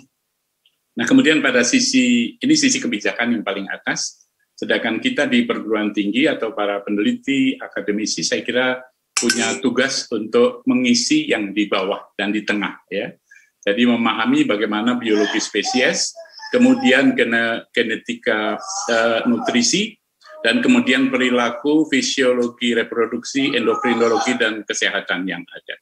Nah, kemudian dengan uh, assisted teknologi reproduksi atau teknologi reproduksi berbantuan, sama dengan sekarang ini sudah eranya genomik, diusahakan bisa berkontribusi untuk mempertahankan keragaman genetik tadi. Ini yang kita kenal dengan perburuan liar dan laju deforestasi. Jadi perburuan liar itu memang untuk kebutuhan pangan biasanya seperti di sini anoa adalah eh, hewan apa kerbau kerdil ya yang ada di Sulawesi itu kurang lebih eh, pada tahun 2005 saja itu anoa sudah diburu kurang lebih satu setengah ekor per desa per tahun. Jadi saat ini sudah sulit menemukan anoa di eh, pedalaman-pedalaman atau bahkan di gunung-gunung di Sulawesi. Dan kemudian juga saya kira laju deforestasi oleh karena tadi ya perluasan lahan eh, apa namanya sawit misalnya dan seterusnya. Jadi ada yang kebutuhan untuk pangan dan juga ada yang untuk kebutuhan eh, perhiasan ya seperti misalnya di offset, diambil eh, tanduknya dan seterusnya. Nah, Ibu Bapak sekalian, saya kira untuk memahami biologi reproduksi dasar dan komparatif, saya kira menjadi modal penting karena di sana kita tahu bahwa perilaku alami seperti perkawinan ini contohnya eh, apa namanya harimau yang sedang kawin mohon maaf ini eh, agak porno sedikit tetapi eh, ini karena hewan ya saya kira kita semua bisa memaklumi dan kemudian perilaku perilaku yang lain dan juga tentunya kita pahami bahwa hewan-hewan eh, satwa liar tadi itu tidak sama dengan ternak karena kalau ternak itu eh, apa namanya ya mengevaluasinya, menelitinya itu sudah bertahun-tahun. Sementara satwa ini oleh karena hambatan uh, jumlah hewan dan kemudian uh, apa namanya struktur struktur geografi dan sebagainya, kita banyak mengalami hambatan dan Nah, ibu bapak sekalian, saya kira beberapa kendala reproduksi di habitat aslinya bisa kita temukan. Misalnya kesulitan melakukan perkawinan. Jadi ada oleh karena sapi pejantannya terlalu besar, kemudian betinanya uh, kecil, maka perkawinan menjadi tidak tidak sempurna, tidak berhasil. Kemudian juga ada kendala-kendala yang terkait dengan uh, menyusutnya populasi di alam, ya. Karena menyusutnya populasi di alam, otomatis perkawinan akan terjadi secara inbreeding lebih banyak. Ya. Jadi perkawinan sedarah, perkawinan sekeluarga itu menyebabkan berbagai macam kesulitan di dalam kaitan dengan kesuburannya dan itu sudah dihadapi oleh oleh eh, badak Sumatera yang saat ini dalam dalam posisi terancam punah. Kemudian hambatan untuk menghasilkan keturunan yang eh, nantinya akan kita reintroduksi ke, ke lapangan. Nah, Ibu Bapak sekalian, saya kira ada dua dua sumbangsih ya dari bidang kebetulan ini bidang ilmu kami di di reproduksi hewan adalah untuk menerapkan yang disebut dengan uh, Assisted Reproductive Technology atau disingkat ART, bukan asisten rumah tangga ya, tapi teknologi reproduksi berbantuan, di mana uh, kita mencoba menggunakan teknologi untuk mempercepat proses perkawinan. Ya. Jadi di situ ada inseminasi buatan atau yang dikenal kawin suntik, kemudian ada transfer embrio, jadi embrio kita panen dan kemudian kita titipkan kepada induk resipien. Dan kemudian yang paling baru sekarang ini adalah pemikiran kita untuk menjadikan genome resource banking atau bank sumber daya genetik yang diharapkan nantinya kita bisa mengumpulkan paling paling simpel misalnya kita bisa mengumpulkan darah dari hewan-hewan yang masih hidup sekarang. Yang itu nanti kita simpan, kita preserve, suatu saat kita hidupkan kembali melalui sel-sel yang tersimpan tadi. Atau lebih spesifik lagi barangkali adalah DNA saja. Jadi kalau kalau misalnya darah sudah tidak bisa dikumpulkan, kita kerok uh, dapat kerokan kulit, kerokan tulang.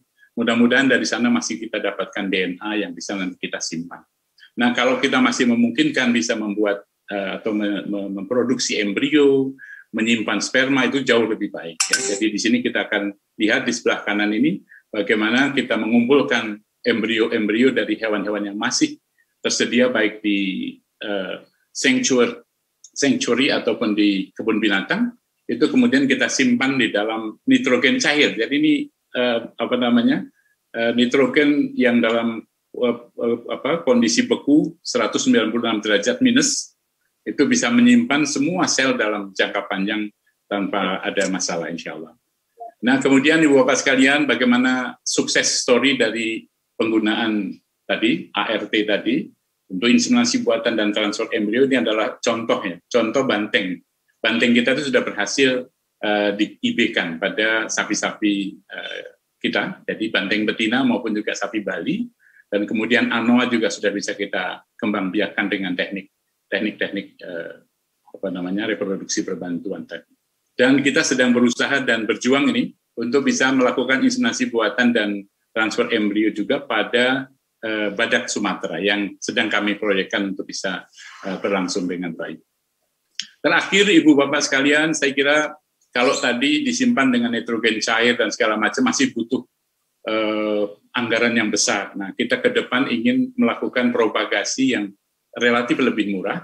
Ya, jadi misalnya dengan menggunakan uh, DK, desiccation ya, desiccation itu dikeringkan. Jadi diharapkan nanti kering awet ya. Sama dengan yang di sebelah kiri ini adalah dengan microwave ya. Jadi sel-sel uh, apa namanya uh, sel-sel plasma nutfah yang tersedia itu bisa kemudian kita simpan, kita amankan untuk kita simpan dalam uh, kondisi uh, kering, insya Allah. Saya kira itu paparan ringkas dari saya, mudah-mudahan memberikan uh, inspirasi untuk kita semua dan bicara siapa yang bertanggung jawab. Tentu uh, pemerintah harus ada di depan, memberikan arahan, memberikan petunjuk. Sementara kita uh, komunitas akademisi dan masyarakat tentunya, masyarakat diharapkan bisa menekan laju tadi uh, pe, pe, apa namanya pemburuan liar dan pembalakan hutan-hutan untuk kemudian kita semuanya di perguruan tinggi berusaha untuk melakukan riset-riset yang bisa mendukung proses uh, preservasi uh, genetik ini secara baik sehingga kita nanti akan bisa mewariskan kepada generasi muda kita di masa yang akan datang uh, tidak kemudian diblame sebagai generasi yang merusak lingkungan karena kita sudah juga melakukan upaya-upaya untuk menyelamatkan. Saya kira demikian uh, Prof. Uh, Tin dan Prof. Budi dari saya. Terima kasih. Assalamualaikum warahmatullahi wabarakatuh. Baik, terima kasih. Ya, ini menarik nih, Prof. Tim. Iya. Ada hal-hal yang mungkin bisa didiskusikan atau ditanyakan karena ini terkait ya. Ini ternyata tantangan kehilangan satwa itu mungkin lebih besar daripada kehilangan tanaman betul nggak kalau persepsi saya? Iya, iya populasinya soalnya. Betul ya? Betul. Apalagi ya. untuk yang satwa yang tidak bisa untuk sementara belum bisa dibudidayakan gitu loh. Yeah, Karena yeah. mereka yang kan ada yang satwa liar di habitat alaminya gitu. Betul. Kira-kira mungkin Prof Din ada yang ingin ditanyakan ke Prof Bambang? Iya, Prof Budi, ini saya juga jadi penasaran ingin tanya kepada Prof uh, Bambang. Prof Bambang ini uh, sebenarnya kan ada tuntutan ya manusia yang terus bertambah populasinya sehingga kebutuhan akan pangan juga pasti bertambah. Nah, itu kemudian menjadi alasan untuk mereka-mereka uh, melakukan konversi lahan supaya bisa digunakan lahan itu untuk uh, budidaya entah itu pangan ataupun uh, tanaman lainnya. Nah, ini bagaimana ya? Artinya di satu sisi ada upaya untuk konservasi uh, satwa langka, tetapi di satu sisi di sisi lain ini juga ada tuntutan pemenuhan kebutuhan uh, manusia. Nah, ini baru soal pangan. Ada lagi kebutuhan lain, fashion dan sebagainya yang harus diambil dari hewan-hewan tertentu, ya. Nah, ini barangkali Prof Bambang, saya tahu tadi sudah disampaikan ada teknologi untuk reproduksi, tetapi kan setelah setelah hewan itu di uh, ya katakanlah lahir baru begitu ya, tetapi kan tetap harus di dikembalikan di habitat yang sangat ideal untuk uh, mereka. Nah, bagaimana Prof Bambang? Ya, jadi kalau konservasionis tentu uh, harapannya uh, perluasan uh, apa namanya lahan-lahan dari hutan menjadi apa namanya katakanlah perkebunan itu hendaknya bisa di, dikurangi. Tetapi tadi uh, Prof Tin sudah menyampaikan bahwa kebutuhan pangan juga memerlukan uh, apa namanya uh, penanganan spesifik juga. Nah, pemerintah sebenarnya untuk mengatasi uh, itu semua karena paham ya bahwa kira-kira uh, kehilangan lahan untuk konservasi itu akan terjadi oleh karena tuntutan pembangunan. Sehingga banyak uh, sekarang ini uh, apa namanya taman nasional yang sudah di, di, di, didedikasikan untuk spesies-spesies tertentu. Jadi misalnya untuk badak Sumatera itu ada di Waikambas. Jadi bersama dengan gajah itu meng, me, apa namanya ya menempati uh, ribuan hektar di sana. Dan untuk uh, spesifik untuk badak itu ada namanya sanctuary, sanctuary atau apa ya uh, tempat untuk me, mempreservasi karena satu badak itu butuh ratusan hektar sebenarnya hmm.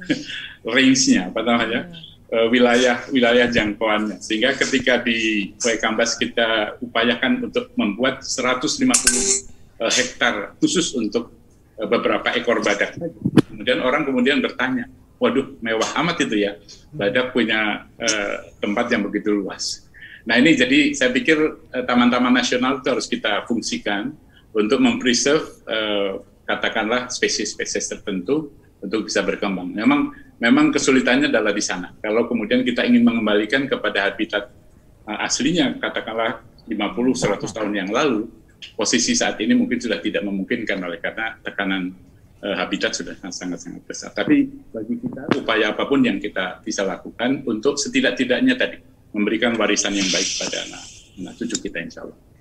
Itu Mbak Din. Ya. ya Prof Budi ternyata memang tidak mudah ya jadi uh, satu sisi memang ada tuntutan untuk konversi lahan untuk pemenuhan kebutuhan pangan, tapi di sisi lain kita harus mengkonservasi satwa langka. Nah, Prof Budi barangkali ada yang mau ditanyakan. Uh, baik, uh, terima kasih Prof Tin. Ini sebenarnya uh, saya agak sedikit minta waktu ya ke UGTV ya walaupun tadi ada sudah ada tanda-tanda kita durasi sudah ini gitu ya tapi ini karena topiknya menarik ya yeah. dua menit saja nih saya minta tanggapan singkat dari Prof Hadi dan juga Prof Ari ya singkat saja bagaimana kita mengajak masyarakat mm-hmm. agar satwa langka yang dilindungi ini mohon maaf tidak menyusul kalau yang saya lihat di situsnya International Union for Conservation of Nature mm-hmm. itu kan secara ilmiah dianggap punah yaitu harimau Bali, harimau Jawa walaupun mm-hmm. kadang-kadang sempat ditemukan juga ya tapi saya tertarik dengan tadi konsep bahwa kalau ditemukan genomnya ataupun DNA-nya, hmm. saya malah pikiran liar saya seperti Jurassic Park gitu ya, ketemu yeah, yeah. DNA-nya nanti dihidupkan kembali gitu ya. Yeah. Nah ini bagaimana uh, mengajak masyarakat, Prof Hadis singkat saja uh, de de terkait dengan materi Prof Bambang dan juga Prof Ari. Monggo uh, Prof Hadi apakah masih tersambung? Uh, Prof Budi Hermana. Betul. Ya. Jadi apa yang sudah disampaikan Prof Bambang menarik sekali dan khususnya untuk uh, satwa liar ya. Uh, jadi memang human needs ini merupakan konfrontasi dengan uh, pelestarian atau konservasi sumber daya uh, satwa liar ini. Karena itu tadi tanggung jawab pemerintah, tanggung jawab negara bisa in situ, bisa ex situ sebenarnya. Nah masyarakat itu di ex situnya. Ya. Jadi uh, mestinya juga kalau saya sebagai landscape ekologis itu ketika terjadi fragmentasi, padahal home rings tadi untuk satu badak aja berapa 50 hektar, lalu terpecah-pecah. Salah satu jalan keluar adalah connectivity, adanya koridor ya sehingga home rings masih teritorinya masih terjangkau dan juga artinya uh, apa namanya bisa bisa dilakukan dengan baik. Kedua, uh, satwa liar kalau tadi yang Prof Bambang sampaikan itu kan seperti uh, binatang buas. Padahal satwa liar juga ada di perkotaan. Nah, di sinilah peran masyarakat bisa capung, bisa kupu-kupu, burung itu kembali melalui pekarangan yang bisa untuk home rings atau juga untuk teritori bisa untuk mencari makan, mencari minum, kawin, bersarang itu silakan di pekarangan. Begitu juga adanya kebun raya meskipun botani tapi satwa liar juga datang. Tadi Taman Nasional pastinya, tapi juga ada uh, reserve game. Reserve game itu apa namanya? Suaka marga satwa. Itu bisa ex situ tidak selalu in situ. Dan masyarakat uh, jangan hanya menyalahkan pemerintah. Jadi kalau saya sih uh, community ini juga berperan sekali. Ya, karena terutama dalam pemburuan liar ini juga harus dihentikan. Mari kita sayangi uh, wildlife yang ada di sekitar kita. Saya kira itu ya Prof Budi Hermana. Terima kasih Prof Hadi. Nih untuk tanggapan Prof Ari ditahan dulu Prof Ari ini karena saya akan dikaitkan dengan kearifan lokal gitu ya. ya Bagaimana ya, menjaga ya keanekaragaman hayati walaupun mungkin nanti spesifik di perikanan gitu ya. Ya. Baik pemirsa UTV, uh, diskusi kita sangat menarik dan tentunya di masih ada satu segmen lagi yang berbicara tentang perikanan dan bagaimana kearifan lokal yang tentunya karena ini jendela negeriku tentu banyak praktek-praktek yang baik, banyak budaya lokal yang baik. Mungkin ada awareness kalau dari Prof Sukur katakan bahwa bagaimana awareness pun bisa terbentuk karena kearifan lokal juga. Nanti Prof Ari yang akan berbicara lebih jauh eh, terkait dengan pembangunan perikanan berkelanjutan. Namun kita akan diskusikan setelah jeda berikut.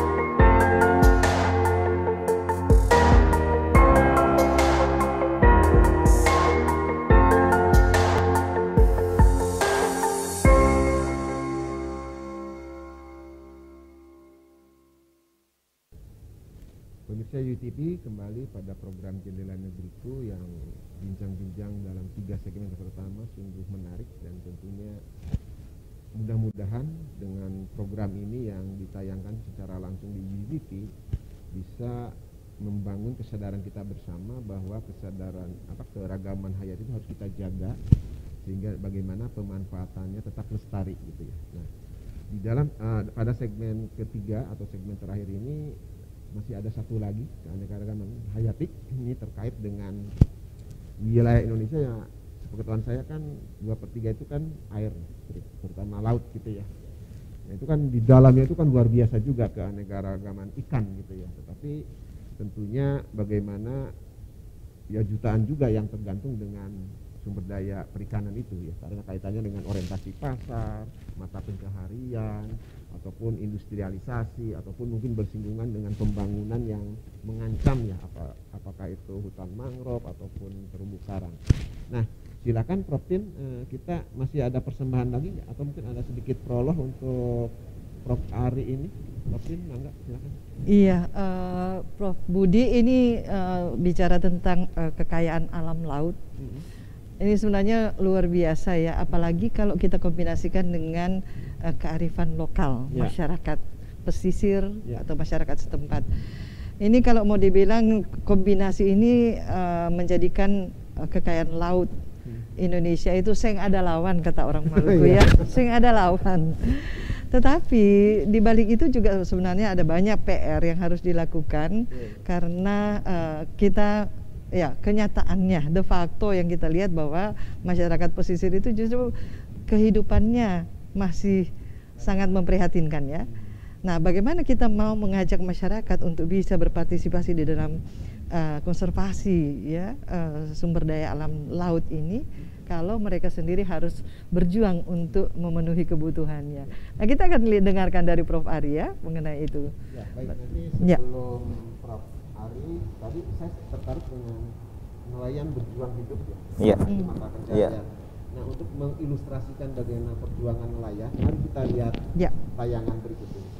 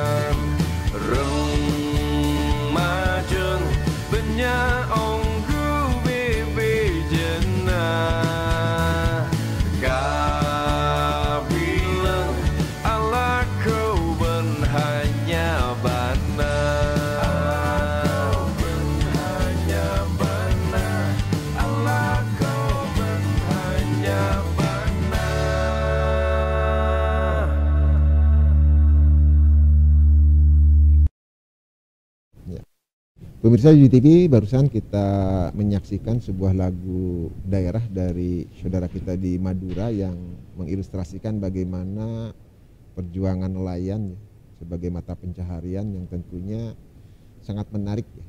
Bagaimana nanti kearifan lokal seperti tadi di prolog dari Prof Tin, tetapi bukan hanya Madura. Prof Ari pasti sudah mengunjungi semua masyarakat pesisir kan gitu ya gitu. Silakan langsung saja Prof Ari eh, materinya untuk kearifan lokal dan perikanan berkelanjutan. Mangga. Terima kasih Prof Budi Hermana juga Prof Tina Kemandang. Eh, di kesempatan yang baik ini saya juga akan eh, menyapa pemirsa semua. Assalamualaikum warahmatullahi wabarakatuh. Ya. Selamat siang dan berbicara kearifan lokal da- dan perikanan berkelanjutan ini eh, tidak terlepas dari apa yang telah disampaikan oleh narasumber sebelumnya. Narasumber sebelumnya, jadi eh, ini sangat erat sekali eh, keterkaitannya eh, karena memang eh, sumber daya alam yang terkandung di negara kita ini mau tidak mau memang diakses oleh masyarakat, Ya. diakses untuk eh, pengelolaannya. Saya Coba. akan share sebenarnya ini. Ya, eh, silakan slide. di next mungkin Eh, bisa next-nya, dibantu ya. Mohon dibantu. Ya. Jadi eh, Direktorat Jenderal Pengelolaan Ruang Laut sudah memetakan bahwa kita memiliki begitu banyak beragam kearifan lokal yang ada di negara kita. Bukan beragam sumber daya hayatinya saja, tetapi masyarakatnya juga memiliki beragam kearifan lokal. Kearifan lokal itu apa? Nilai, ide yang tentu ini dijalankan dengan wise, dengan penuh kearifan. Yang tentu ini eh, biasanya memang hanya diucapkan, diturunkan, diucapkan, didongengkan. Eh, banyak kearifan lokal ini tidak tertulis eh, Prof Budi dan Ya. Prof Tineke, Hmm. tapi masyarakat mengetahuinya. Hmm. Eh, sebagai contoh di sini ada di eh, wilayah Aceh. Hmm. Di wilayah Aceh ada yang disebut Panglima Laut. Hmm. Panglima Laut memang benar ada panglimanya, ada komandannya yang memang membentuk community. Tujuannya untuk menjaga Hmm. eh, aktivitas masyarakat yang agar tidak merusak. Hmm. Di Lombok Barat itu ada yang namanya awik-awik juga. Hmm. Awik-awik itu justru eh, ini yang unik. Awik-awik di eh, Nusa Tenggara Barat, di NTB, ini Lombok Barat, ini sudah masuk ke hukum positif. Ya. Karena sudah masuk ke aturan pemerintah daerah. Jadi setiap nelayan yang merusak laut, dia melakukan pemanfaatan dengan cara pengeboman atau pembiusan itu kena sanksi awik-awik dan sanksi sosialnya berat. Hmm. Tapi di wilayah lain memang belum. Jadi ini belum masuk di dalam hukum positif tapi dipahami dan Ya. ini mengandung filosofi yang tinggi. Ada yang tidak boleh menangkap ikan hari Jumat. Hmm. Itu memberikan kesempatan ikan tidak diganggu oleh manusia. Ya. Dan ini luar biasa. Kalau kita lihat, kenapa perlu berkelanjutan? Karena walaupun sumber daya alam itu katanya ini kan pemberian Tuhan, Pak Ari, Prof Budi. Ya. Ngapain Tuhan itu menjaganya? Iya, Tuhan menjaga, tapi kalau manusia tidak menjaganya juga, dia lambat laun akan punah sehingga terjadi kelangkaan. Contoh ikan terubuk sekarang. Susah kita dapatkan ikan terubuk karena memang lingkungannya dirusak. Kemudian tidak ada space lagi bagi mereka untuk kawin karena diganggu terus. Kapan kawinnya kalau umpamanya alat tangkap terus menangkap mereka? Makanya ada kearifan lokal nggak boleh menangkap hari Jumat. Mungkin mereka sempat kawin hari Jumat. Iya. Tapi setelah kawin kemudian ditangkap lagi. Ini juga sehingga ahli dunia juga mengatakan bahwa keberlanjutan itu komponennya lengkap. Adalah keberlanjutan ekologi, Eh, ini secara ekologi dia harus berlanjut untuk menjamin generasi yang akan datang supaya tahu oh ikan teri ini begini jangan di sejarah dulu nenek saya makan ikan teri gambarnya ini karena sudah menjadi fosil hilang iya kemudian ada juga sosioekonomik jadi keberlanjutan sosial ekonomik penting karena kenapa masyarakatnya marginal tadi gimana mereka mau makan kalau tidak ada keberlanjutan ini sosial ekonomi. Kemudian komunitasnya juga harus berlanjut. Karena kalau komunitasnya nggak berlanjut, maka siapa yang akan menjaga? Siapa akan yang mengelola? Dan juga ada institusional, kepemerintahannya berlanjut ini. Karena pemerintah yang memberikan regulasi, memberikan aturan kalau ini nggak berlanjut, Ya. bagaimana? Saya tambahkan juga teknologinya harus berlanjut. Hmm. Ini lupa kadang. Teknologi yang diterapkan itu produksi pabrik. Pabrik selalu promosi bahwa teknologi saya paling bagus, bisa menangkap ikan sebanyak-banyaknya. Salah kan harusnya? Hmm. Teknologinya pun harus dia berlanjut. Hmm. Saintis harus ikut serta di situ. Nah, kita lanjutkan sedikit lagi. Ini realitas Indonesia sebagaimana Prof Budi sampaikan. Pulau kita terbesar. Kita bahkan pantai kita terpanjang di dunia. Hmm. Oh, oh, setelah Kanada tentunya. Hmm. Dan ini kita lihat. Iya. Iya. Dan kita memiliki laut 5,8 juta kilometer bujur sangkar. Daratan kita hanya 1,9 juta. Artinya bahwa 75 persen itu laut. Daratan kita itu sempit, Prof. Syukur. Ya. Dari daratan yang sempit, 28 persennya air, Pak Syukur. Prof. Syukur untuk hidup ikan. Jadi ini kita luar biasa potensinya. Ini adalah fakta yang harus kita jaga. Kita lihat lagi apa yang bisa diberikan laut kepada kita. Dia menyediakan sumber daya ikan, hayati dan nirhayati, pendukung kehidupan, bahkan juga menyediakan pendukung kenyamanan hidup Hmm. dan juga sampah. Sampah-sampah ini ternyata bencana, bencana ini dia bisa mengendalikan bencana. Airnya semua lari ke laut. Masyarakat buang sampah juga ke laut. Ini yang salah. kita lanjut lagi ini. Kalau kita lihat nih biodiversity-nya, Pak. Hmm. Jadi bukan hanya ikan, ada 574 jenis karang, Ya. 2.500 jenis ikan, Ya. 1.500 jenis udang-udangan dan jenis moluska, cumi-cumi ada di sini, jenis lamun. Lamun itu adalah seagrass dan lain-lain. Ini adalah fakta yang harus dilindungi. Meskipun tadi sudah ada ini, sudah ada kementerian yang mengolah, tapi kalau peran masyarakat tadi tidak dioptimalkan, masyarakat boleh memanfaatkan, tapi ada batasnya. Kita nggak akan menikmati keindahan ini anak cucu kita. Betul. Ini akan hilang semua dan ini hanya menjadi cerita dongeng masa lalu nantinya. Nah, Itu yang kita harus bagaimana peran masyarakat tadi bukan hanya mengelola ikan, mengelola keragaman hayati Prof Syukur di pekarangan yang sempit. Kalau kita punya bank-bank plasma nutfah saja itu luar biasa. Hmm. Sama di perikanan juga, setiap orang dia aware, sadar. Saya mencari hidup, tetapi saya tangkap ikan-ikan yang sudah mulai memijah, sudah pernah kawin sekali dan beranak sekali, baru saya tangkap. Jangan ini baru belajar pacaran ditangkap. Jadi nggak akan bisa nanti. ya. Ini yang harus dipahamkan kepada masyarakat dan pemerintah juga melakukan perlindungan wilayah konservasi laut. Kalau sudah di situ dilindungi, nanti ada awik-awik ikut menjaga, panglima laut ikut menjaga, Iya. Dan edukasi itu harus tetap berjalan. Saya pikir itu, Prof. eh, Tineke dan Prof. Budi, dan ini menarik sekali sama dengan tadi badak itu kawinnya susah karena badak ternyata kami masuk di Malaysia itu di dalam GCBC Joint eh, Commission for Col- eh, apa bilateral collaboration itu masuk salah satunya eh, pelestarian badak eh, Asia Tenggara. Karena Malaysia hanya tinggal tiga badaknya. Satu udah jompo akhirnya mati.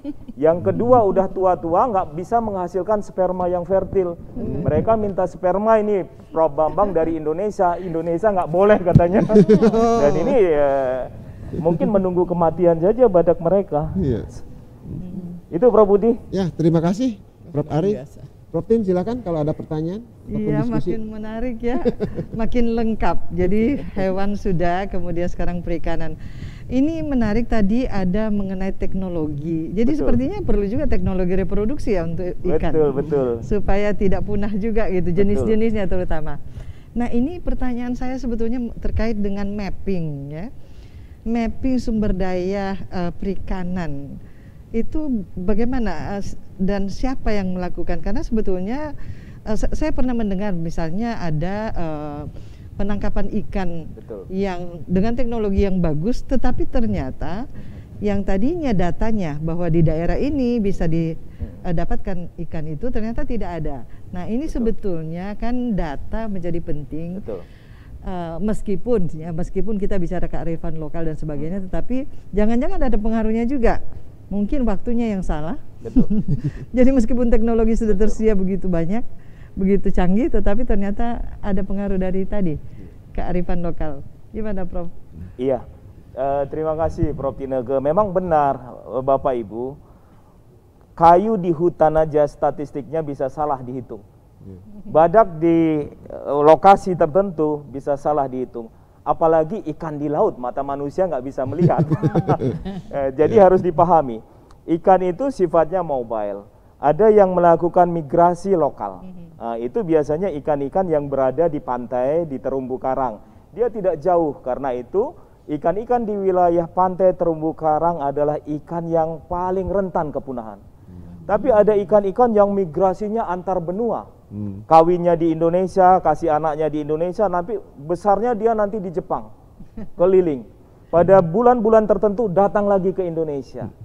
Karena itu, untuk ikan-ikan yang migrasi besar ini dikelola oleh organisasi dunia regional, namanya RFMO. Jadi Regional Fisheries Organization. Hmm. Kita harus masuk di sana. Iya. Dan kita harus mencatatkan kapalnya di sana.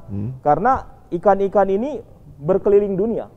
Mungkin pada saat dia datang di situ, ikannya sedang kawin di Jepang. Jadi nggak ada.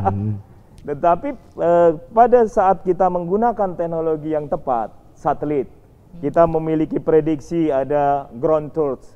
Jadi kita sampling di lapangan. Oh, ternyata bulan Juni ukurannya segini.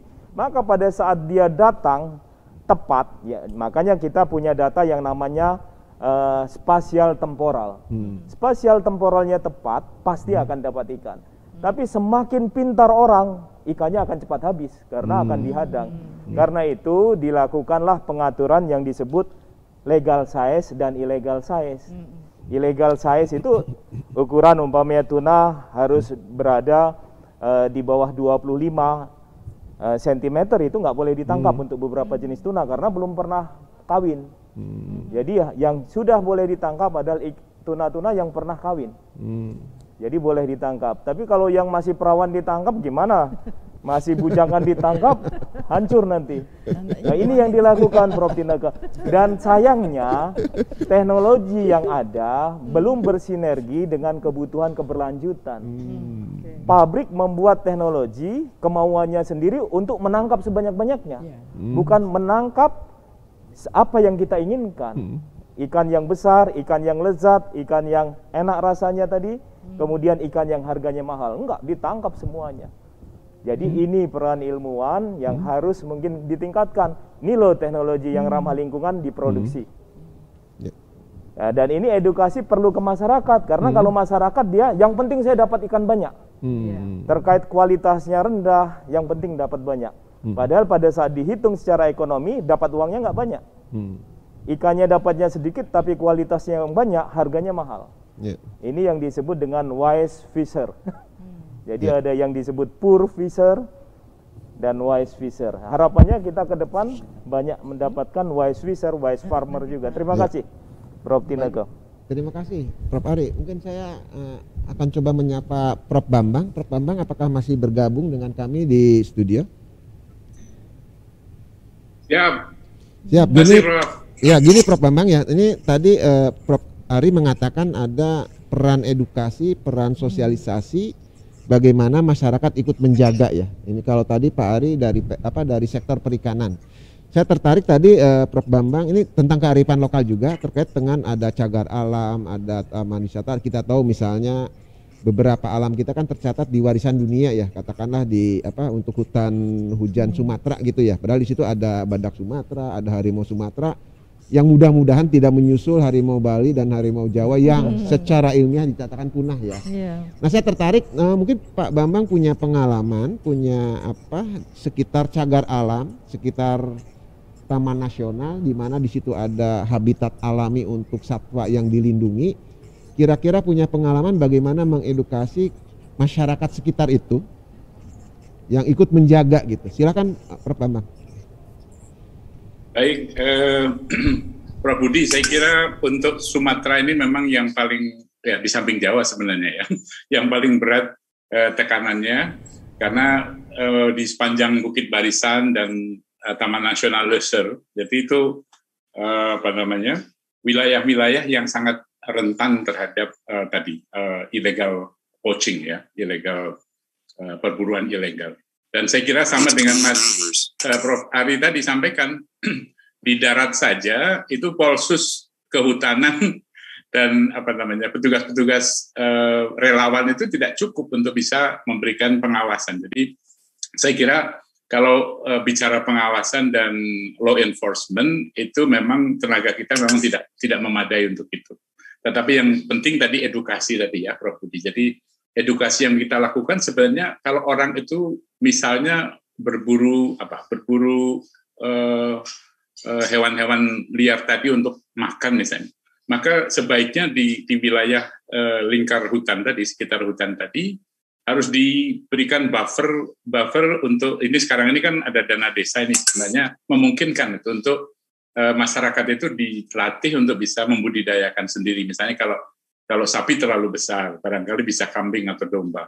Atau lebih kecil lagi barangkali ayam gitu ya. Sehingga kebutuhan protein hewani untuk untuk makan mereka itu sebaiknya bisa dipenuhi dari budidaya yang dilakukan. Dan saya kira eh, apa namanya peran dari pemerintah, peran dari lembaga-lembaga swasta, eh, LSM dan seterusnya eh, punya peran penting untuk bisa mendidik atau memberi apa namanya pendidikan pada masyarakat tadi.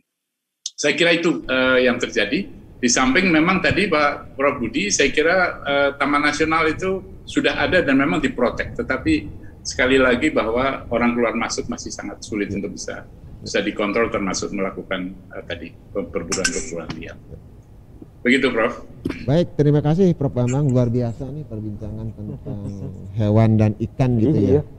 Tapi tak terasa nih kita sudah di penghujung acara nih Prof. Tineke, yeah. Prof. Mardianti, Prof. Syukur dan juga Prof. Ari di studio, juga Prof. Bambang dan Ari kalau di on air Prof. Hadi gitu ya. Yeah. Tetapi untuk closing remark, mungkin nanti kita persilakan Prof. Ari bagaimana perbincangan kita hari ini tentang keanekaragaman hayati yang dikaitkan dengan Hari Keanekaragaman Hayati Sedunia dan tentunya edukasi dari Asosiasi Profesor Indonesia itu kan tidak berhenti hari ini gitu ya. Monggo Prof. Ari kalau ada Baik, terima kasih Prof. Budi, Prof. Tineke dan para uh, narasumber yang hadir di sini. Jadi alhamdulillah ini adalah uh, apa siaran perdana API untuk mencerahkan masyarakat tentunya didukung oleh UGTV Universitas Gunadarma Hmm. Dan insya Allah ini akan berlanjut dan kami mengundang peran serta para profesor hmm. untuk tampil mengedukasi masyarakat dengan bahasa yang ringan dan mudah dipahami. Yeah. Uh, closing statement saya bahwa peran serta masyarakat ini sangat penting dan tadi narasumber menyampaikan sekecil apa pun pekarangan kita, kita bisa menyelamatkan uh, plasma nutfah sekecil apa pun mungkin karya kita sebagai profesor, tapi kalau namanya profesor karena sudah guru besar pasti karyanya besar. Hmm. Nah, itu harusnya bisa berperan mengedukasi masyarakat.